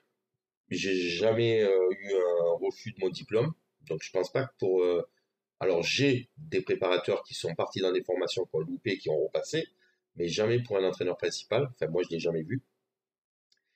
Donc vous passez votre formation. Du moment qu'elle est attribuée, si je pars de Monaco, que je vais à Porto, que je vais à, à Pamplune ou Tartampion, j'aurai quand même la validation de mon diplôme que je continuerai à passer. Les dirigeants, c'est tout ce qui a fait aspect des dirigeants. Si je veux faire une demande à mes dirigeants, les membres du staff, donc là mon président, mon directeur général, donc eux, euh, je peux rien faire. J'ai même pas d'infos sur eux. Vous voyez, je peux cliquer dessus, euh, aucune info sur ces personnes-là. La confiance, donc là, c'est ce qu'ils pensent de vous. OK. Donc, récapitulatif. Les dirigeants sont satisfaits. Bon, on vous donne des infos. Problème au club. Donc là, on vous dit s'il y a des problèmes. Donc là, c'est plutôt l'envergure du club qui est pas assez bonne. Le budget salarial, ils sont confiants. Par contre, coût d'un licenciement, ça a coûté un petit peu d'argent, ils sont pas contents, mais bon, je suis arrivé au club, il y a toujours des petits frais comme ça. Puis bon, ça fait que 13 jours, donc après, ça, ça va, ça, ça, va s'enrober. Euh, voilà, vous avez différentes, pareil, hein. là ils sont contents, 9-0, premier match, forcément, marché des transferts, réunion avec les dirigeants, donc là c'est si vous décidez de faire une réunion, nous devrions améliorer le niveau de proposé en français, nous devrions améliorer les niveaux d'entraînement proposés en finançant une formation à 210, nous devrons, voilà,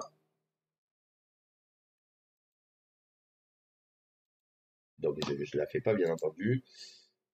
Là, c'est si je veux demander des augmentations sur certaines choses. Donc évitez de le faire dès que vous venez d'arriver dans un club. La plupart du temps, ça sera refusé. Euh, faites-le plutôt quand vous avez des résultats, ça va vous aider. Et vous avez le budget de transfert normalement au niveau des finances que vous pouvez ajuster. Donc là, vous voyez, à l'heure actuelle, dans mon club, j'ai 5 millions 600 000, 630 000 à peu près de dépenses actuelles, donc sur le budget salarial. Et euh, on m'octroie 5 950 000 à peu près. Ce qui veut dire que j'ai 300 000 de budget euh, salarial euh, en marge de manœuvre. J'ai un budget transfert de 17 millions. Et eh bien si je veux, je fais ça. Je suis toujours bien pour ma masse salariale et j'ai augmenté mon budget transfert. Et vice versa, je veux donner un petit peu plus de souplesse à mes salaires.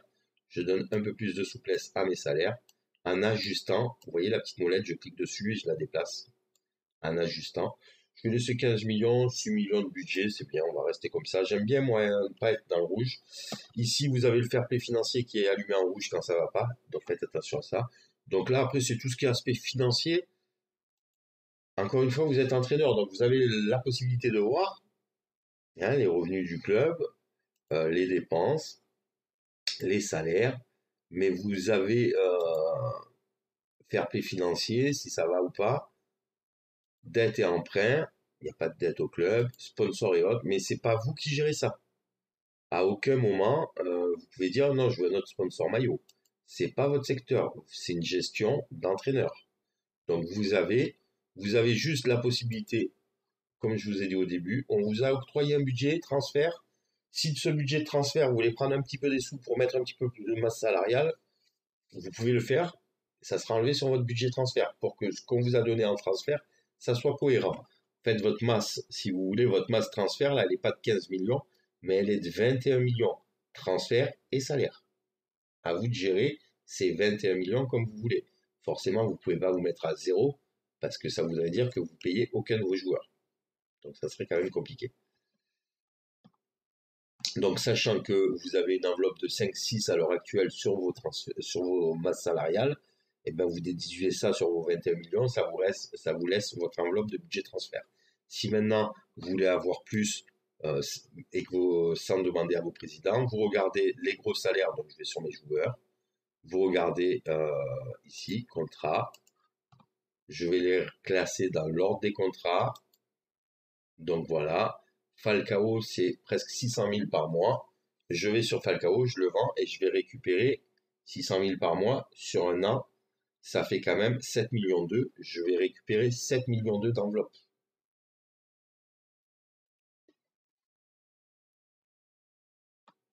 Je ne sais pas si j'ai été suivi sur mes calculs. plus de... Oui, non, c'est pas moi. Il a 600 000 par mois de salaire. Ça veut dire qu'il me coûte 7 millions d'eux à l'année. Ça veut dire que si je le vends en début de saison, j'économise 600 000 par mois sur 12 mois. Et normalement, je devrais récupérer ici, donc le, mettons je l'ai vendu 10 millions, 25, mais ici je vais récupérer 600 000. Alors pour vous donner un exemple, comme j'ai fait tout à l'heure, si je récupère 600 000, là sur 400 000 déjà, vous voyez, je suis à 15, sur 400 000, je passe à 20, j'ai gagné 5. Donc c'est ce que je dis. Là, je vais, voilà, 6-3. 6-3, budget salarial. Pour gagner 600 000 de budget salarial, ça fait 5-7. On est d'accord? Donc, je mets sur 6-3. J'ai 13 millions. Si je gagne 600 000, je passe à 20 millions. Vous voyez, j'ai 17,2 pour vous donner une idée. Alors là, on rentre dans les, maths. Je ne suis pas là pour vous faire un cours de maths mais c'est pour vous expliquer un petit peu euh, comment augmenter vos, budgets de transfert. Voilà, on a vu toutes ces fenêtres-là, et vous avez des fenêtres générales en haut. Euh, donc, observez. Vous voyez, en haut, c'est l'observation. Je veux observer un joueur. Allez, euh, je m'appelle Ferré. Je vais chercher un joueur qui s'appelle comme moi, voir si je trouve hop, ferré. Je vais me dire, voilà, c'est un joueur, il est de la famille, je veux le recruter. J'ai donné un exemple. Hein. Maintenant, vous cherchez un joueur, vous l'avez. Alors, il y a des joueurs que vous allez voir sur certaines parties ou qu'on vous a dit qu'il était bon, que vous allez vouloir, mais que vous n'allez pas avoir parce que dans votre base de données, vous ne l'avez pas. Les joueurs principaux, vous allez les retrouver en général, mais d'autres, peut-être pas. Donc ça, c'est pour observer vous avez ici le, petite, euh, le petit globe du monde. C'est pour avoir des informations diverses sur tout ce qui est Afrique, Amérique du Sud, Asie, Europe, etc. Donc là, hop, les championnats, vous avez des classements. Euh, vous pouvez aller, euh, je sais pas moi, sur une compétition. Vous voyez, vous avez différents aspects. Euh,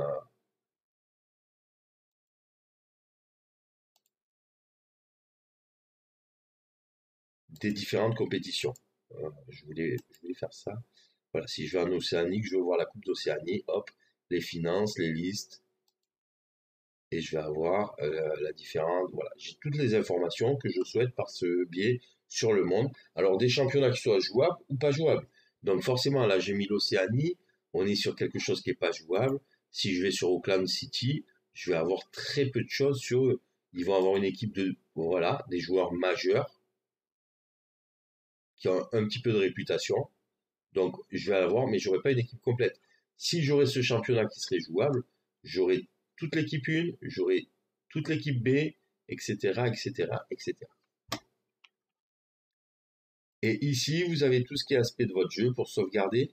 Sauvegarder sous le nom. Donc là, c'est une sauvegarde automatique. Là, c'est une sauvegarde sous un nom de jeu. Ça, quand vous les chargez, quittez le jeu, euh, etc. Nouvelle carrière, ça. Voilà, j'ai pas. Et vous avez préférence ici où vous avez, je vous l'ai déjà montré, différents aspects que vous pouvez régler sur votre jeu actuel.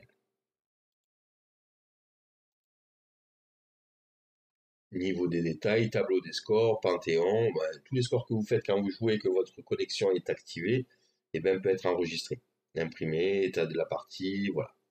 Différents de sites de téléchargement, du date ou autre sur Workshop que vous pouvez retrouver. On a fait le tour. J'ai été un petit peu plus explicite. Euh, j'avais laissé un petit peu tous ces côtés du jeu la dernière fois. Donc je suis revenu dessus. Et donc nous, on va continuer à avancer et je continuerai donc à euh, dire. Donc là, je vais sur calendrier. Le prochain match, ça sera contre le Servette. On joue dans trois jours. Et on va avancer afin de voir un deuxième match. Donc là, c'est une boîte de réception, on me donne des informations sur le dernier match qu'on a effectué. Là, c'est les dates importantes en juillet. C'est quelque chose qu'on avait vu dans notre calendrier. Donc c'est un message, on me rappelle les dates importantes du mois de juillet, diverses. Alors, je peux euh, partir en vacances, créer une note de rappel de ce jour. Euh, vous voyez, là par exemple, je peux annuler le match amical. Vous voyez la petite flèche? J'ai interaction avec certaines choses. Alors, je peux annuler match amical, mais si c'est un match officiel, euh, je ne vais pas pouvoir l'annuler forcément. Par contre, je crois que des fois on peut demander le report de match. Faut que je voie ça. Euh, avant, il y avait un système pour le faire. C'est vrai que là, je ne l'ai pas fait, mais des fois, on se retrouve dans un calendrier assez chargé. Donc là, j'ai un petit rappel sur mes entraînements. Donc nous, on sait qu'au niveau des entraînements, je vais sur entraînement clic gauche, je vais sur mon équipe, on continue à travailler euh, ce qu'on demande à travailler. Donc là, j'ai mis priorité, priorité, priorité, je m'embête pas, je demande des formes physiques, tactiques. Par contre, attention, pensez à enlever ça quand vous allez rentrer en championnat, sinon vous ferez tout le temps de la forme physique et vous aurez à un moment ou un autre des blessures et, et autres. Donc là, on est en préparation. Moi, je travaille la forme physique en préparation on ralentira avant de commencer le championnat. Donc les informations qu'on me donne, au petit APP, en prêt, etc. Donc ça, vous de voir si vous voulez vous attarder dessus ou pas. Et vous allez voir qu'après, vous vous attardez pas. Là, on me donne, on me dit que Poli est placé sur la liste des transferts. Alors, ça, c'est toujours bien d'acheter des joueurs qui sont placés sur la liste des transferts. Merci pour le flow. Merci du soutien au troisième match, ça fait plaisir. Merci beaucoup. Euh, c'est toujours agréable parce qu'un joueur, je vais dessus, je vais vous montrer, c'est un joueur qui vaut 8 millions 5 et je peux l'avoir pour 7,75. Alors là, il n'y a pas grand chose en différence, mais des fois, il y a un gros écart. Donc là, même si j'ai pris Monaco, il y a des joueurs que je vais peut-être pas vouloir avoir pour l'effectif de Monaco à long terme, euh, ou que c'est pas des priorités, mais que je vais quand même acheter pour faire de l'argent. Attention, je reste dans l'optique du challenge que je me suis fixé. Ça sera forcément un joueur sélectionnable en équipe de France. Ou un Français. Donc là, ça sert à rien que j'aille l'observer. Là, un rapport, donc je clique pour avancer mes messages. Je pourrais le faire via ici en cliquant gauche. Moi, je le fais par là. Euh, rapport d'entraînement, le dernier mois devrait bénéficier d'un entraînement individuel afin d'améliorer son placement. Le joueur pourrait se recycler au poste d'avant-centre et y réussir. Donc là, il me dit de reconvertir un joueur, en l'occurrence Angeloras, Angeloras, qui est milieu offensif. Il me dit de le faire travailler son placement. Donc il va le faire travailler au placement pour qu'il devienne attaquant. C'est le gars que j'ai pris pour la formation. Je lui fais confiance. J'ai pas envie de m'attarder dessus pour le moment. Euh, je lui fais confiance. Je vais suivre ses conseils. Je l'ai pris, je l'ai payé, j'ai viré un mec. Quand je vois ses notes, je pense qu'il sait de quoi il parle. Donc, on va lui faire confiance. S'il va pas, on le jettera, on en achètera un autre. Donc là, c'est mon, mon entraîneur de ma réserve. Il me dit, t'as pas des joueurs à me passer parce que je peux éventuellement placer des joueurs pour les faire jouer. Mais là, en l'occurrence, c'est non. Euh, donc, euh, rapport mensuel, il me dit, est-ce que donc c'est un résumé sur les transferts. Ne lui offrez pas de nouveau contrat à Bernardo Silva. Pour le moment, il me dit ça. Je trouve que c'est un directeur sportif, il n'est pas très bon parce qu'un joueur comme ça, on lui offre un contrat. Ça a 21 ans. Alors, lui offrez pas de contrat parce qu'il a un contrat jusqu'en 2020. Donc ça veut dire qu'il a un contrat sur 4 ans. Donc euh, je ne vais pas être obligé de lui offrir un contrat. Même s'il y a des offres qui arrivent, je ne serai pas obligé. Par contre, ce que je vous conseille, j'ai oublié de le dire, quand vous avez des joueurs comme ça, allez voir leur contrat et bien regarder s'il a une clause. Donc vous avez un effectif. Ici, on est sur les contrats. On va ajouter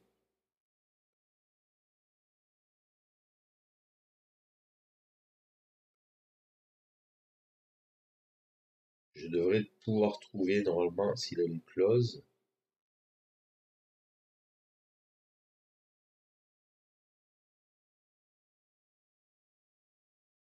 Contrat.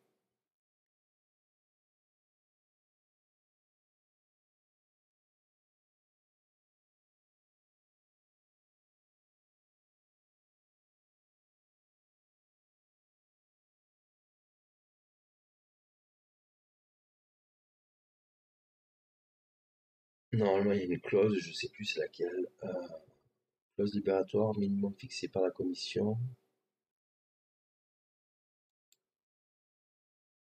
Il n'y en a pas. Donc faites bien attention à ça. Regardez les clauses. Je prends Neymar, je vais voir Neymar, c'est un joueur que je veux garder à tout prix. Je vais voir son contrat, je clique gauche, contrat, info, contrat. Hop, je regarde, il n'a pas de clause. On est d'accord? Donc vous pouvez même faire dérouler ici avec les petites flèches les joueurs. Vous voyez là? Je suis parti là, j'ai mis sur les contrats et je défile, je vais avoir tous mes joueurs. Mbappé, il n'a pas de clause. Mendy, il n'a pas de clause. Moutino, il a une clause libératoire de 40 millions. Je m'en fiche, je sais pas le français. Donc, par contre, je veux pas le perdre non plus. Donc, à l'heure actuelle, Moutino, il a une clause. OK? Donc, je vais voir Moutino, profil. Moutino, il a 29 ans, il vaut 11 millions 5. Prix demandé, 23. Il a une clause à 40, mec. Donc, prix demandé, 40.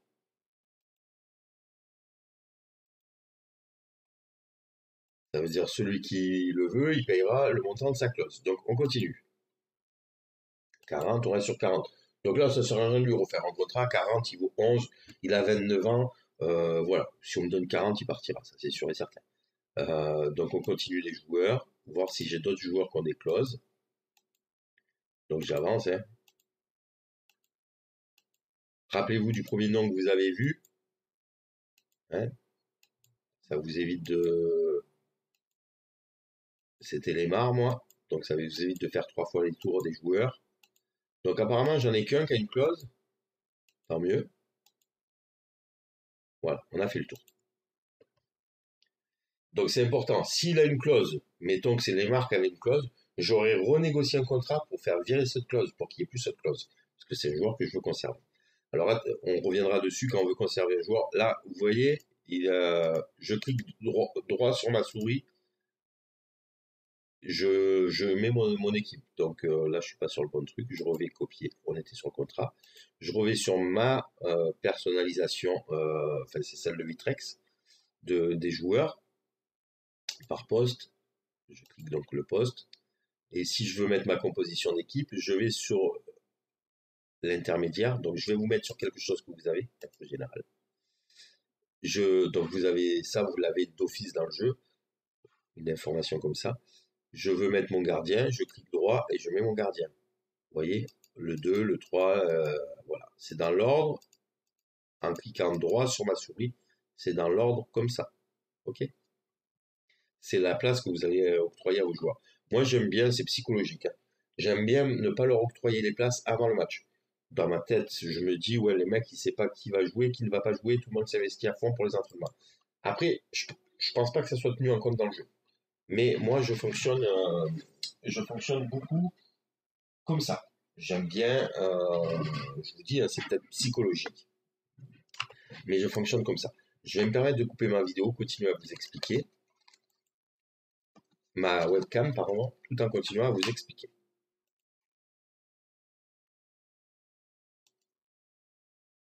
Donc j'avance au niveau de mes messages, une boîte de réception, comme vous avez pu le voir peut désormais enregistrer joueur en Ligue 1. Donc si je vais sur enregistrer joueur, on va me donner la possibilité. Alors tout ce que je fais en général, clic gauche, je vous dirai quand je clique droit. Ok, avec la molette je descends, hop, les informations, tous les joueurs ils sont enregistrés. Ok, moi pour le moment je confirme ma sélection, il n'y a pas de souci. Je peux la confirmer, hein, euh, elle elle n'est pas bloquée parce que je l'ai confirmée. J'ai accès jusqu'à la fin du mercato à, ça. Et je vois ici que j'ai une petite, une petite euh, un petit encas jaune, ça veut dire que j'ai une information sur un transfert. Donc je vais aller sur le transfert. Et en fait, j'ai Bochia, Bochila qu'on propose en prêt. Non, c'est sur Mbappé que j'ai l'info. Ici, l'info elle est là, vous voyez, là, là, là je vois un petit truc. Donc apparemment, il y a une proposition qui veut mettre faite sur Mbappé, mais forcément, elle sera refusée d'office. Je vais ici et je rejette toutes les demandes de prêt. Et là, je lui dis, euh,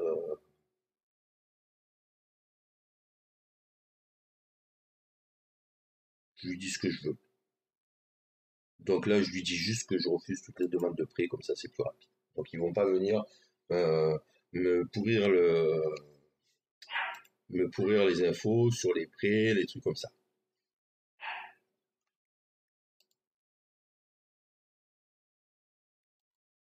Pourquoi il me manu avec ça là? Je m'en fous ça. Moi.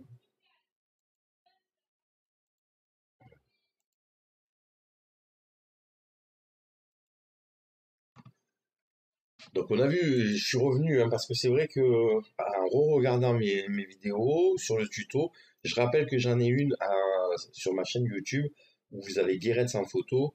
Euh, si vous regardez trié par le nombre de vues, c'est celle qui a le plus de vues, qui vous reprend encore un tuto qui était pas mal en vidéo, qui peut vous redonner aussi des, informations que j'aurais éventuellement oubliées. Et c'est en re-regardant ces, ces vidéos tuto que je me suis aperçu que sur la 3, j'avais avancé beaucoup. Euh, sans expliquer vraiment ce que je faisais, euh, qui pour moi sont des choses euh, basiques. Donc quelqu'un qui n'a pas l'habitude du jeu, je préfère vous l'expliquer. Donc là, vous voyez, hein, j'ai cliqué ici, j'ai mes messages qui se sont ouverts, et là, je regarde. donc on me dit, donc vous voyez, il a fini de superviser euh, Kurzuma, donc je vais avoir les notes complètes. Donc je vais sur Kurzuma, j'ai les notes complètes. Je sais qu'il est dans ma sélection. Au cas où, il n'aurait pas été dans ma sélection et que je veux le rajouter dans ma sélection, je vais sur transfert. Euh, pardon, oui, je vais sur transfert. Et ici, il y a marqué retirer de la sélection. J'aurais mis rajouter à la sélection et un nombre d'années. Et à l'heure actuelle, il a une entorse des ligaments croisés de 3 à 4 mois.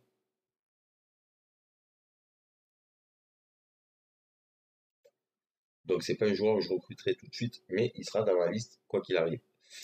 Donc là c'est pareil, j'avance, donc je clique dessus, j'ai pareil, il a fini de voir Tolisso, donc il est dans ma liste, mais maintenant j'aurai les notes complètes. Parce que des fois on n'a pas les notes complètes, hein. vous vous rappelez, je vous l'avais dit, parce qu'il faut quand même un petit peu superviser.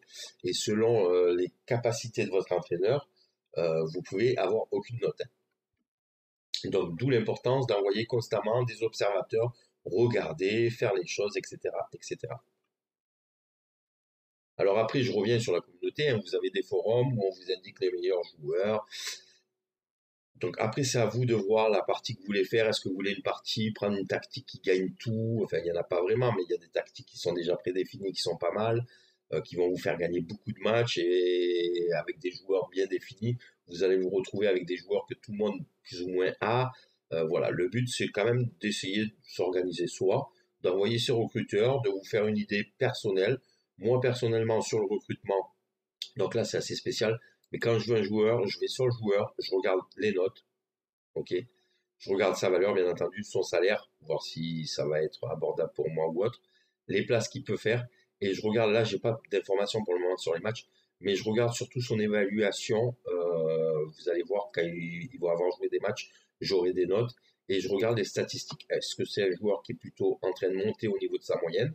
Donc s'il monte régulièrement sa moyenne et qu'il est régulièrement sur des notes en vert, c'est-à-dire plus de 7, c'est un joueur que je vais primer en recrutement hum, parce qu'il a un potentiel pour moi qui peut être intéressant. C'est ma façon de voir les choses. Donc là, vous avez la fond, pareil, j'ai les notes complètes euh, sur le joueur. Donc, je ne les rajoute pas parce que je sais que je les ai déjà mais à un moment, je vais être un peu perdu, donc je regarderai s'ils sont sur ma liste, si je veux les conserver sur ma liste. Donc là, j'ai euh, mon adjoint qui a été voir euh, un petit peu le servette, qui me dit comment le servette joue, qui me dit la formation préférée, le type de jeu, comment il joue, l'état d'esprit, la réputation de l'entraîneur, tactique de match, donc ça, c'est ce que moi je suis en train de jouer sur euh, la préparation de ce match. Je suis en tactique. Et le rapport d'équipe, si je veux un rapport d'équipe plus détaillé, je vais avoir un rapport d'équipe plus détaillé sur l'équipe euh, actuelle, qui ne sert à pas grand chose pour le moment, puisqu'on a distribué et qu'on a disputé très très peu de matchs. Et normalement, j'ai la forme de cette équipe-là. Le temps qu'il va faire, le stade où je vais jouer.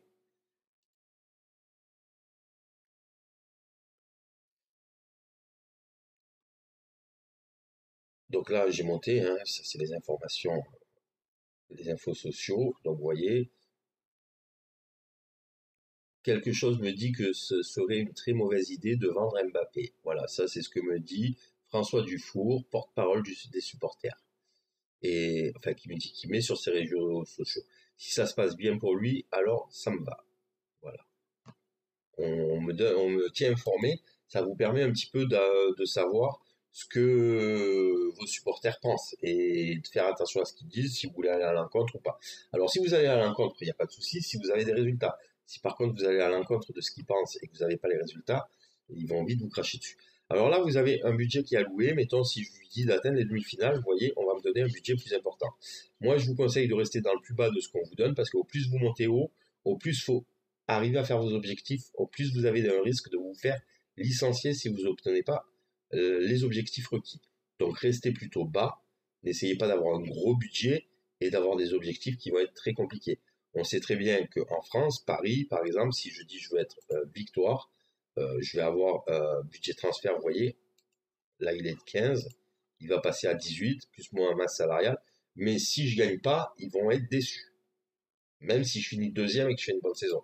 Donc autant marquer qualification en Ligue des Champions, c'est finir dans les trois premiers, c'est plus accessible, il n'y a pas en dessous de toute manière, j'aurais pas mis en dessous je pense avec Monaco, mais voilà, n'allez pas au-delà de ce que vous êtes capable de faire, même quand vous discutez avec vos joueurs, euh, même si vous dites que vous êtes en manque d'ambition, voilà. C'est moi, c'est ma façon de voir les choses. Donc on voit quand même qu'on me demande euh, de jouer sur tous les tableaux. Hein. Qualification en Coupe des Champions, atteindre le premier tour élimination directe, atteindre la finale et atteindre la finale. Donc il va pas falloir que je fasse de passe droit sur certaines compétitions. Alors maintenant, je peux louper ces deux si ici je passe euh, je suis deuxième, enfin si je gagne, euh, ça va compenser. Si, si je passe un quart, ça va compenser certaines choses qui ne vont pas. Donc je confirme. Donc voilà, il me confirme donc mon budget, ma masse. en général, quand vous allez dans les objectifs, c'est ce, que vous aviez déjà en budget ici. Donc je suis allé sur budget pour voir ce que vous aviez déjà. on continue. Donc continue, on avance. Donc il y a des temps de chargement à chaque fois, bien entendu, pour avoir les données qui se font. Et vous avez des petits messages qui apparaissent, vous pouvez le lire si vous voulez. Et si c'est des messages importants qui concernent votre équipe, vous les reverrez par la suite.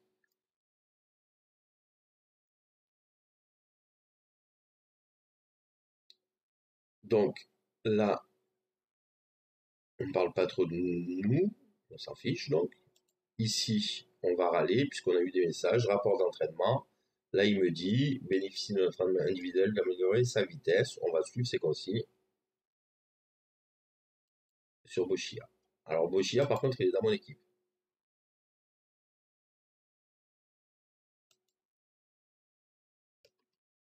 Donc attention, si vous le faites travailler individuellement Bochia, vous lui dites de travailler un poste individuellement, euh, et que lui, il vous donne consigne de travailler euh, un autre poste ou une autre chose, évitez de le faire, puisque vous voulez déjà qu'il rentre dans votre tactique de jeu.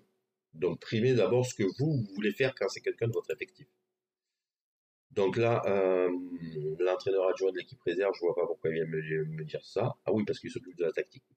Donc il me dit attention, ils n'ont pas encore la connaissance. C'est logique, je viens d'arriver. Ils sont en train de travailler dessus. Donc là, c'est rapport des joueurs que je supervise. J'ai Korchak que je supervise. Donc on me donne les infos pour le moment, je m'en occupe pas. Il n'y a que quand c'est fini, je le rajoute ou je le rajoute pas sur, euh, sur mes transferts. Donc j'avance. Là, on me dit que ma réserve, elle a perdu de 1. On me donne les notes de mes joueurs. Donc là, c'était pas en championnat. C'était en amical. Là, c'est blessure. J'ai pas d'infos plus que. Enfin, si on me dit comment il s'est, il s'est blessé, mais j'ai pas d'interaction avec mon staff médical à avoir. Donc là, Ghislain Gimber, encore une fois, je le mets pour la team Saucisse. C'est un joueur du hack, mais c'est pas un joueur que je vais recruter. Et là, c'est l'annonce que j'ai passée. Vous voyez, euh, Nina Howard, euh, secrétaire personnel. Plusieurs réponses reçues pour le poste d'adjoint de l'AS Monaco Réserve. Donc là, c'est tous ces joueurs-là qui m'ont envoyé un CV pour être adjoint de l'équipe réserve. Donc, petite info, vous voyez, vous restez un petit peu sur l'info, vous avez des notes vite fait. En vert, c'est normalement ce qu'ils ont besoin. OK Sauf que moi, c'est un adjoint, un adjoint, donc je clique. Pardon. Je clique pour bloquer la, fenêtre. Euh, c'est un adjoint. Donc, travailler avec les jeunes, pour moi, c'est important. Donc, qu'il ait des bonnes notes ici aussi, c'est important, bien entendu. Mais moi, je veux qu'il ait en plus de la tactique, c'est quand même euh, l'adjoint. Euh, donc, j'aime bien qu'il ait de la tactique et j'aime qu'il ait de la capacité à motiver. Donc après, s'il a un peu moins de tactique, c'est quand même que l'adjoint, mais je veux qu'il ait capacité à motiver. Donc celui-là, il est mieux que l'autre, mais il est encore un peu juste. Là, ça va pas. Euh, lui, lui, est moyen dans tout. Ça aurait pu coller. Marius Trésor, tiens. Alors Marius Trésor, euh, ça m'intéresse parce que c'est Marius. Il est sous contrat avec Bordeaux, mais j'aime bien le, personnage. Donc là, je vais peut-être lui octroyer la place parce que c'est Marius Trésor. Alors, c'est Marius Trésor. Alors, je vais pas le faire avec n'importe qui en me disant oui, j'aime bien le personnage, donc je lui, je lui octroie. Euh, il me bloque pas le truc là voilà. Il a quand même, dans les, secteurs importants, il a quand même deux notes au-dessus de 15. Il a plus que la moyenne en gestion des joueurs. Il a un 12 en capacité à motiver, 14 travailler avec les jeunes. Donc voilà, il est assez déterminé, donc il pourra certainement améliorer euh, ses notes, euh, même s'il a 66 ans, même s'il est à Bordeaux. Je vais aller voir et je vais lui proposer un contrat. Donc je clique sur le joueur, je mets proposer un contrat. Je regarde tout le temps le salaire qu'il a dans le club où il est actuellement. Donc il a 12,75. Il me demande 16,25. Donc il a 12,75. Donc j'irai pas en dessous de 12,75. Ce qui est logique. Je vais lui proposer 13. Donc si je clique sur là, j'ai des sommes déjà prédéfinies. Sinon, je fais plus ou moins. Si j'active le petit cadenas là, ça veut dire je donnerai pas plus. Ok. Orange. Euh, alors, vous avez ça, c'est euh, ça, c'est le truc, c'est euh, non négociable. Ok? Ça, c'est le truc quand vous sélectionnez, vous pouvez faire deux offres. Et ça, c'est libre. Moi, je reste sur libre. Donc, plein temps, je regarde bien que ça soit un entraîneur d'équipe réserve, ce qu'il me propose. Vous avez ici marqué léger intérêt. C'est ce qui Parce qu'à l'heure actuelle, il est adjoint d'équipe réserve aussi dans son club. Ça veut dire que pour le moment, il est intéressé. Poste secondaire, je m'en fiche. Euh, le transfert, je peux dire immédiatement ou fin de saison sur certaines euh, personnes. La durée du contrat, on va lui faire deux ans, on va voir ce que ça donne. Et si je veux lui ajouter des clauses, je vais sur les clauses et je peux éventuellement lui dire tu auras une augmentation si on remporte la Ligue. Ça, c'est quand vous avez du mal à accepter. Donc là, on va proposer les conditions. Il va. Alors, moi, je vais procéder sur deux fois à chaque fois l'offre que je donne. Donc là, je redonne une deuxième fois 13. Il redescend à 15. Je pourrais rester sur 13, mais bon, je ne vais pas la jouer comme ça. C'est Marius Trésor, il est assez ancien. Il a donné beaucoup pour la France et pour Marseille. Donc, on va proposer. Et c'est parti. Vous voyez, j'aurais pas négocié, j'aurais payé 16 par mois, 16 000 euh, euros. Là, je le paye 13 500. Et je vais finaliser l'accord. Alors, je finalise l'accord, encore une fois, ça ne veut pas dire qu'il va venir chez moi je vais être obligé de donner 300 cas de compensation à Bordeaux, puisqu'il est sous contrat. Je peux quitter. Maintenant, je vais attendre d'avoir sa réponse et euh, il y a peut-être d'autres clubs qui se mettront sur lui. Donc on me dit Trésor veut rejoindre euh, Monaco, donc on est comme ça et on avance. C'est pas un ancien Monaco. Mais bon, c'est un ancien de l'équipe de France quand même.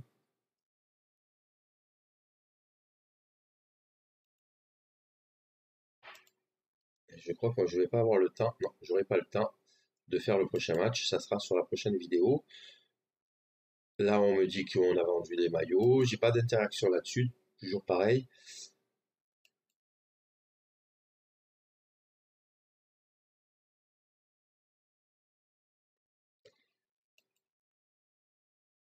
Hop, on me dit qu'il est apte, mais qu'il est assez loin d'avoir retrouvé tous ses moyens. L'équipe médicale vous indique que, bien que vous soyez libre d'ignorer ce conseil, vous augmentez le risque d'aggraver des problèmes de santé existants. On vous appelle à ce joueur qui sont encore en phase de récupération. Donc je peux le faire jouer, mais à mes risques. Donc euh, il y a de fortes chances que je le sélectionnerai pas. Et voilà. Et j'arrive. Donc voilà, on a fait le tour. Je vous ai expliqué. Il n'y a pas eu de match sur ce euh, mais j'ai expliqué ce que j'avais un petit peu zappé le dernier coup. Donc sauvegarder la partie sous. Ok. Donc ça, c'est les diverses parties que j'ai. Je reviendrai dessus si vous voulez plus tard. Et donc c'est la tuto. Je regarde qu'il n'y a pas eu de sauvegarde automatique. Des fois, il y a des sauvegardes automatiques. Je mets sauvegarder. Et voilà. Donc voilà, j'espère que ces vidéos vous sont utiles. N'hésitez pas à me poser des questions si vous avez des questions à poser puisque c'est le but. Si je sais y répondre, j'y répondrai. Si je sais pas y répondre, j'essaierai de m'informer pour y répondre. Euh, je stream donc sur Twitch, n'hésitez pas à venir aussi voir les, les streams des euh, streamers euh, FM. Il y a une communauté, encore une fois, qui, si vous avez des questions, vous les posez. Ils essaieront d'y répondre du mieux qu'ils peuvent. Encore une fois, merci donc de me suivre. Merci aussi sur les viewers de me suivre là sur les chaînes, sur les chats. Vous êtes restés assez calmes. Euh, j'ai vu que c'était des vidéos. Il y aura, donc euh, ce soir du FM où ça sera pas du tuto, ça va être avec ma carrière sans emploi euh, où je suis en saison 6 avec Liverpool et l'équipe de France qu'on va continuer. Ça sera après les matchs de l'équipe de la Ligue des Champions. Ça sera sur Twitter. Là, j'ai pas fait d'annonce Twitter parce que c'est des vidéos tuto. Je fais pas les annonces Twitter sur les vidéos tuto. Ceux qui veulent venir voir viennent. Après, je sais très bien que c'est peut-être moins intéressant pour vous que quand on joue réellement les matchs et la compétition. Mais encore une fois, merci à tous d'avoir été présents. GG à vous. Euh, pensez, voilà, jeter un petit coup d'œil. Si ça vous plaît, n'hésitez pas à lever le pouce. Si ça vous plaît pas, à baisser le pouce sur la chaîne YouTube. Euh, si vous baissez le, pouce, soyez objectif. Dites-moi pourquoi, qu'on essaye d'arranger les choses. Parce que baisser un pouce pour baisser un pouce, euh, voilà, c'est les, critiques sont toujours productives. Si ça vous plaît, levez le pouce. Si vous avez des questions, n'hésitez pas. J'essaierai d'y répondre du mieux possible. Merci encore à tous et je vous souhaite une bonne fin de journée et euh, de bons jeux et euh, de, bon, suivre les conseils pour arriver à faire des bonnes choses. À très prochainement. Je vais couper donc ma vidéo.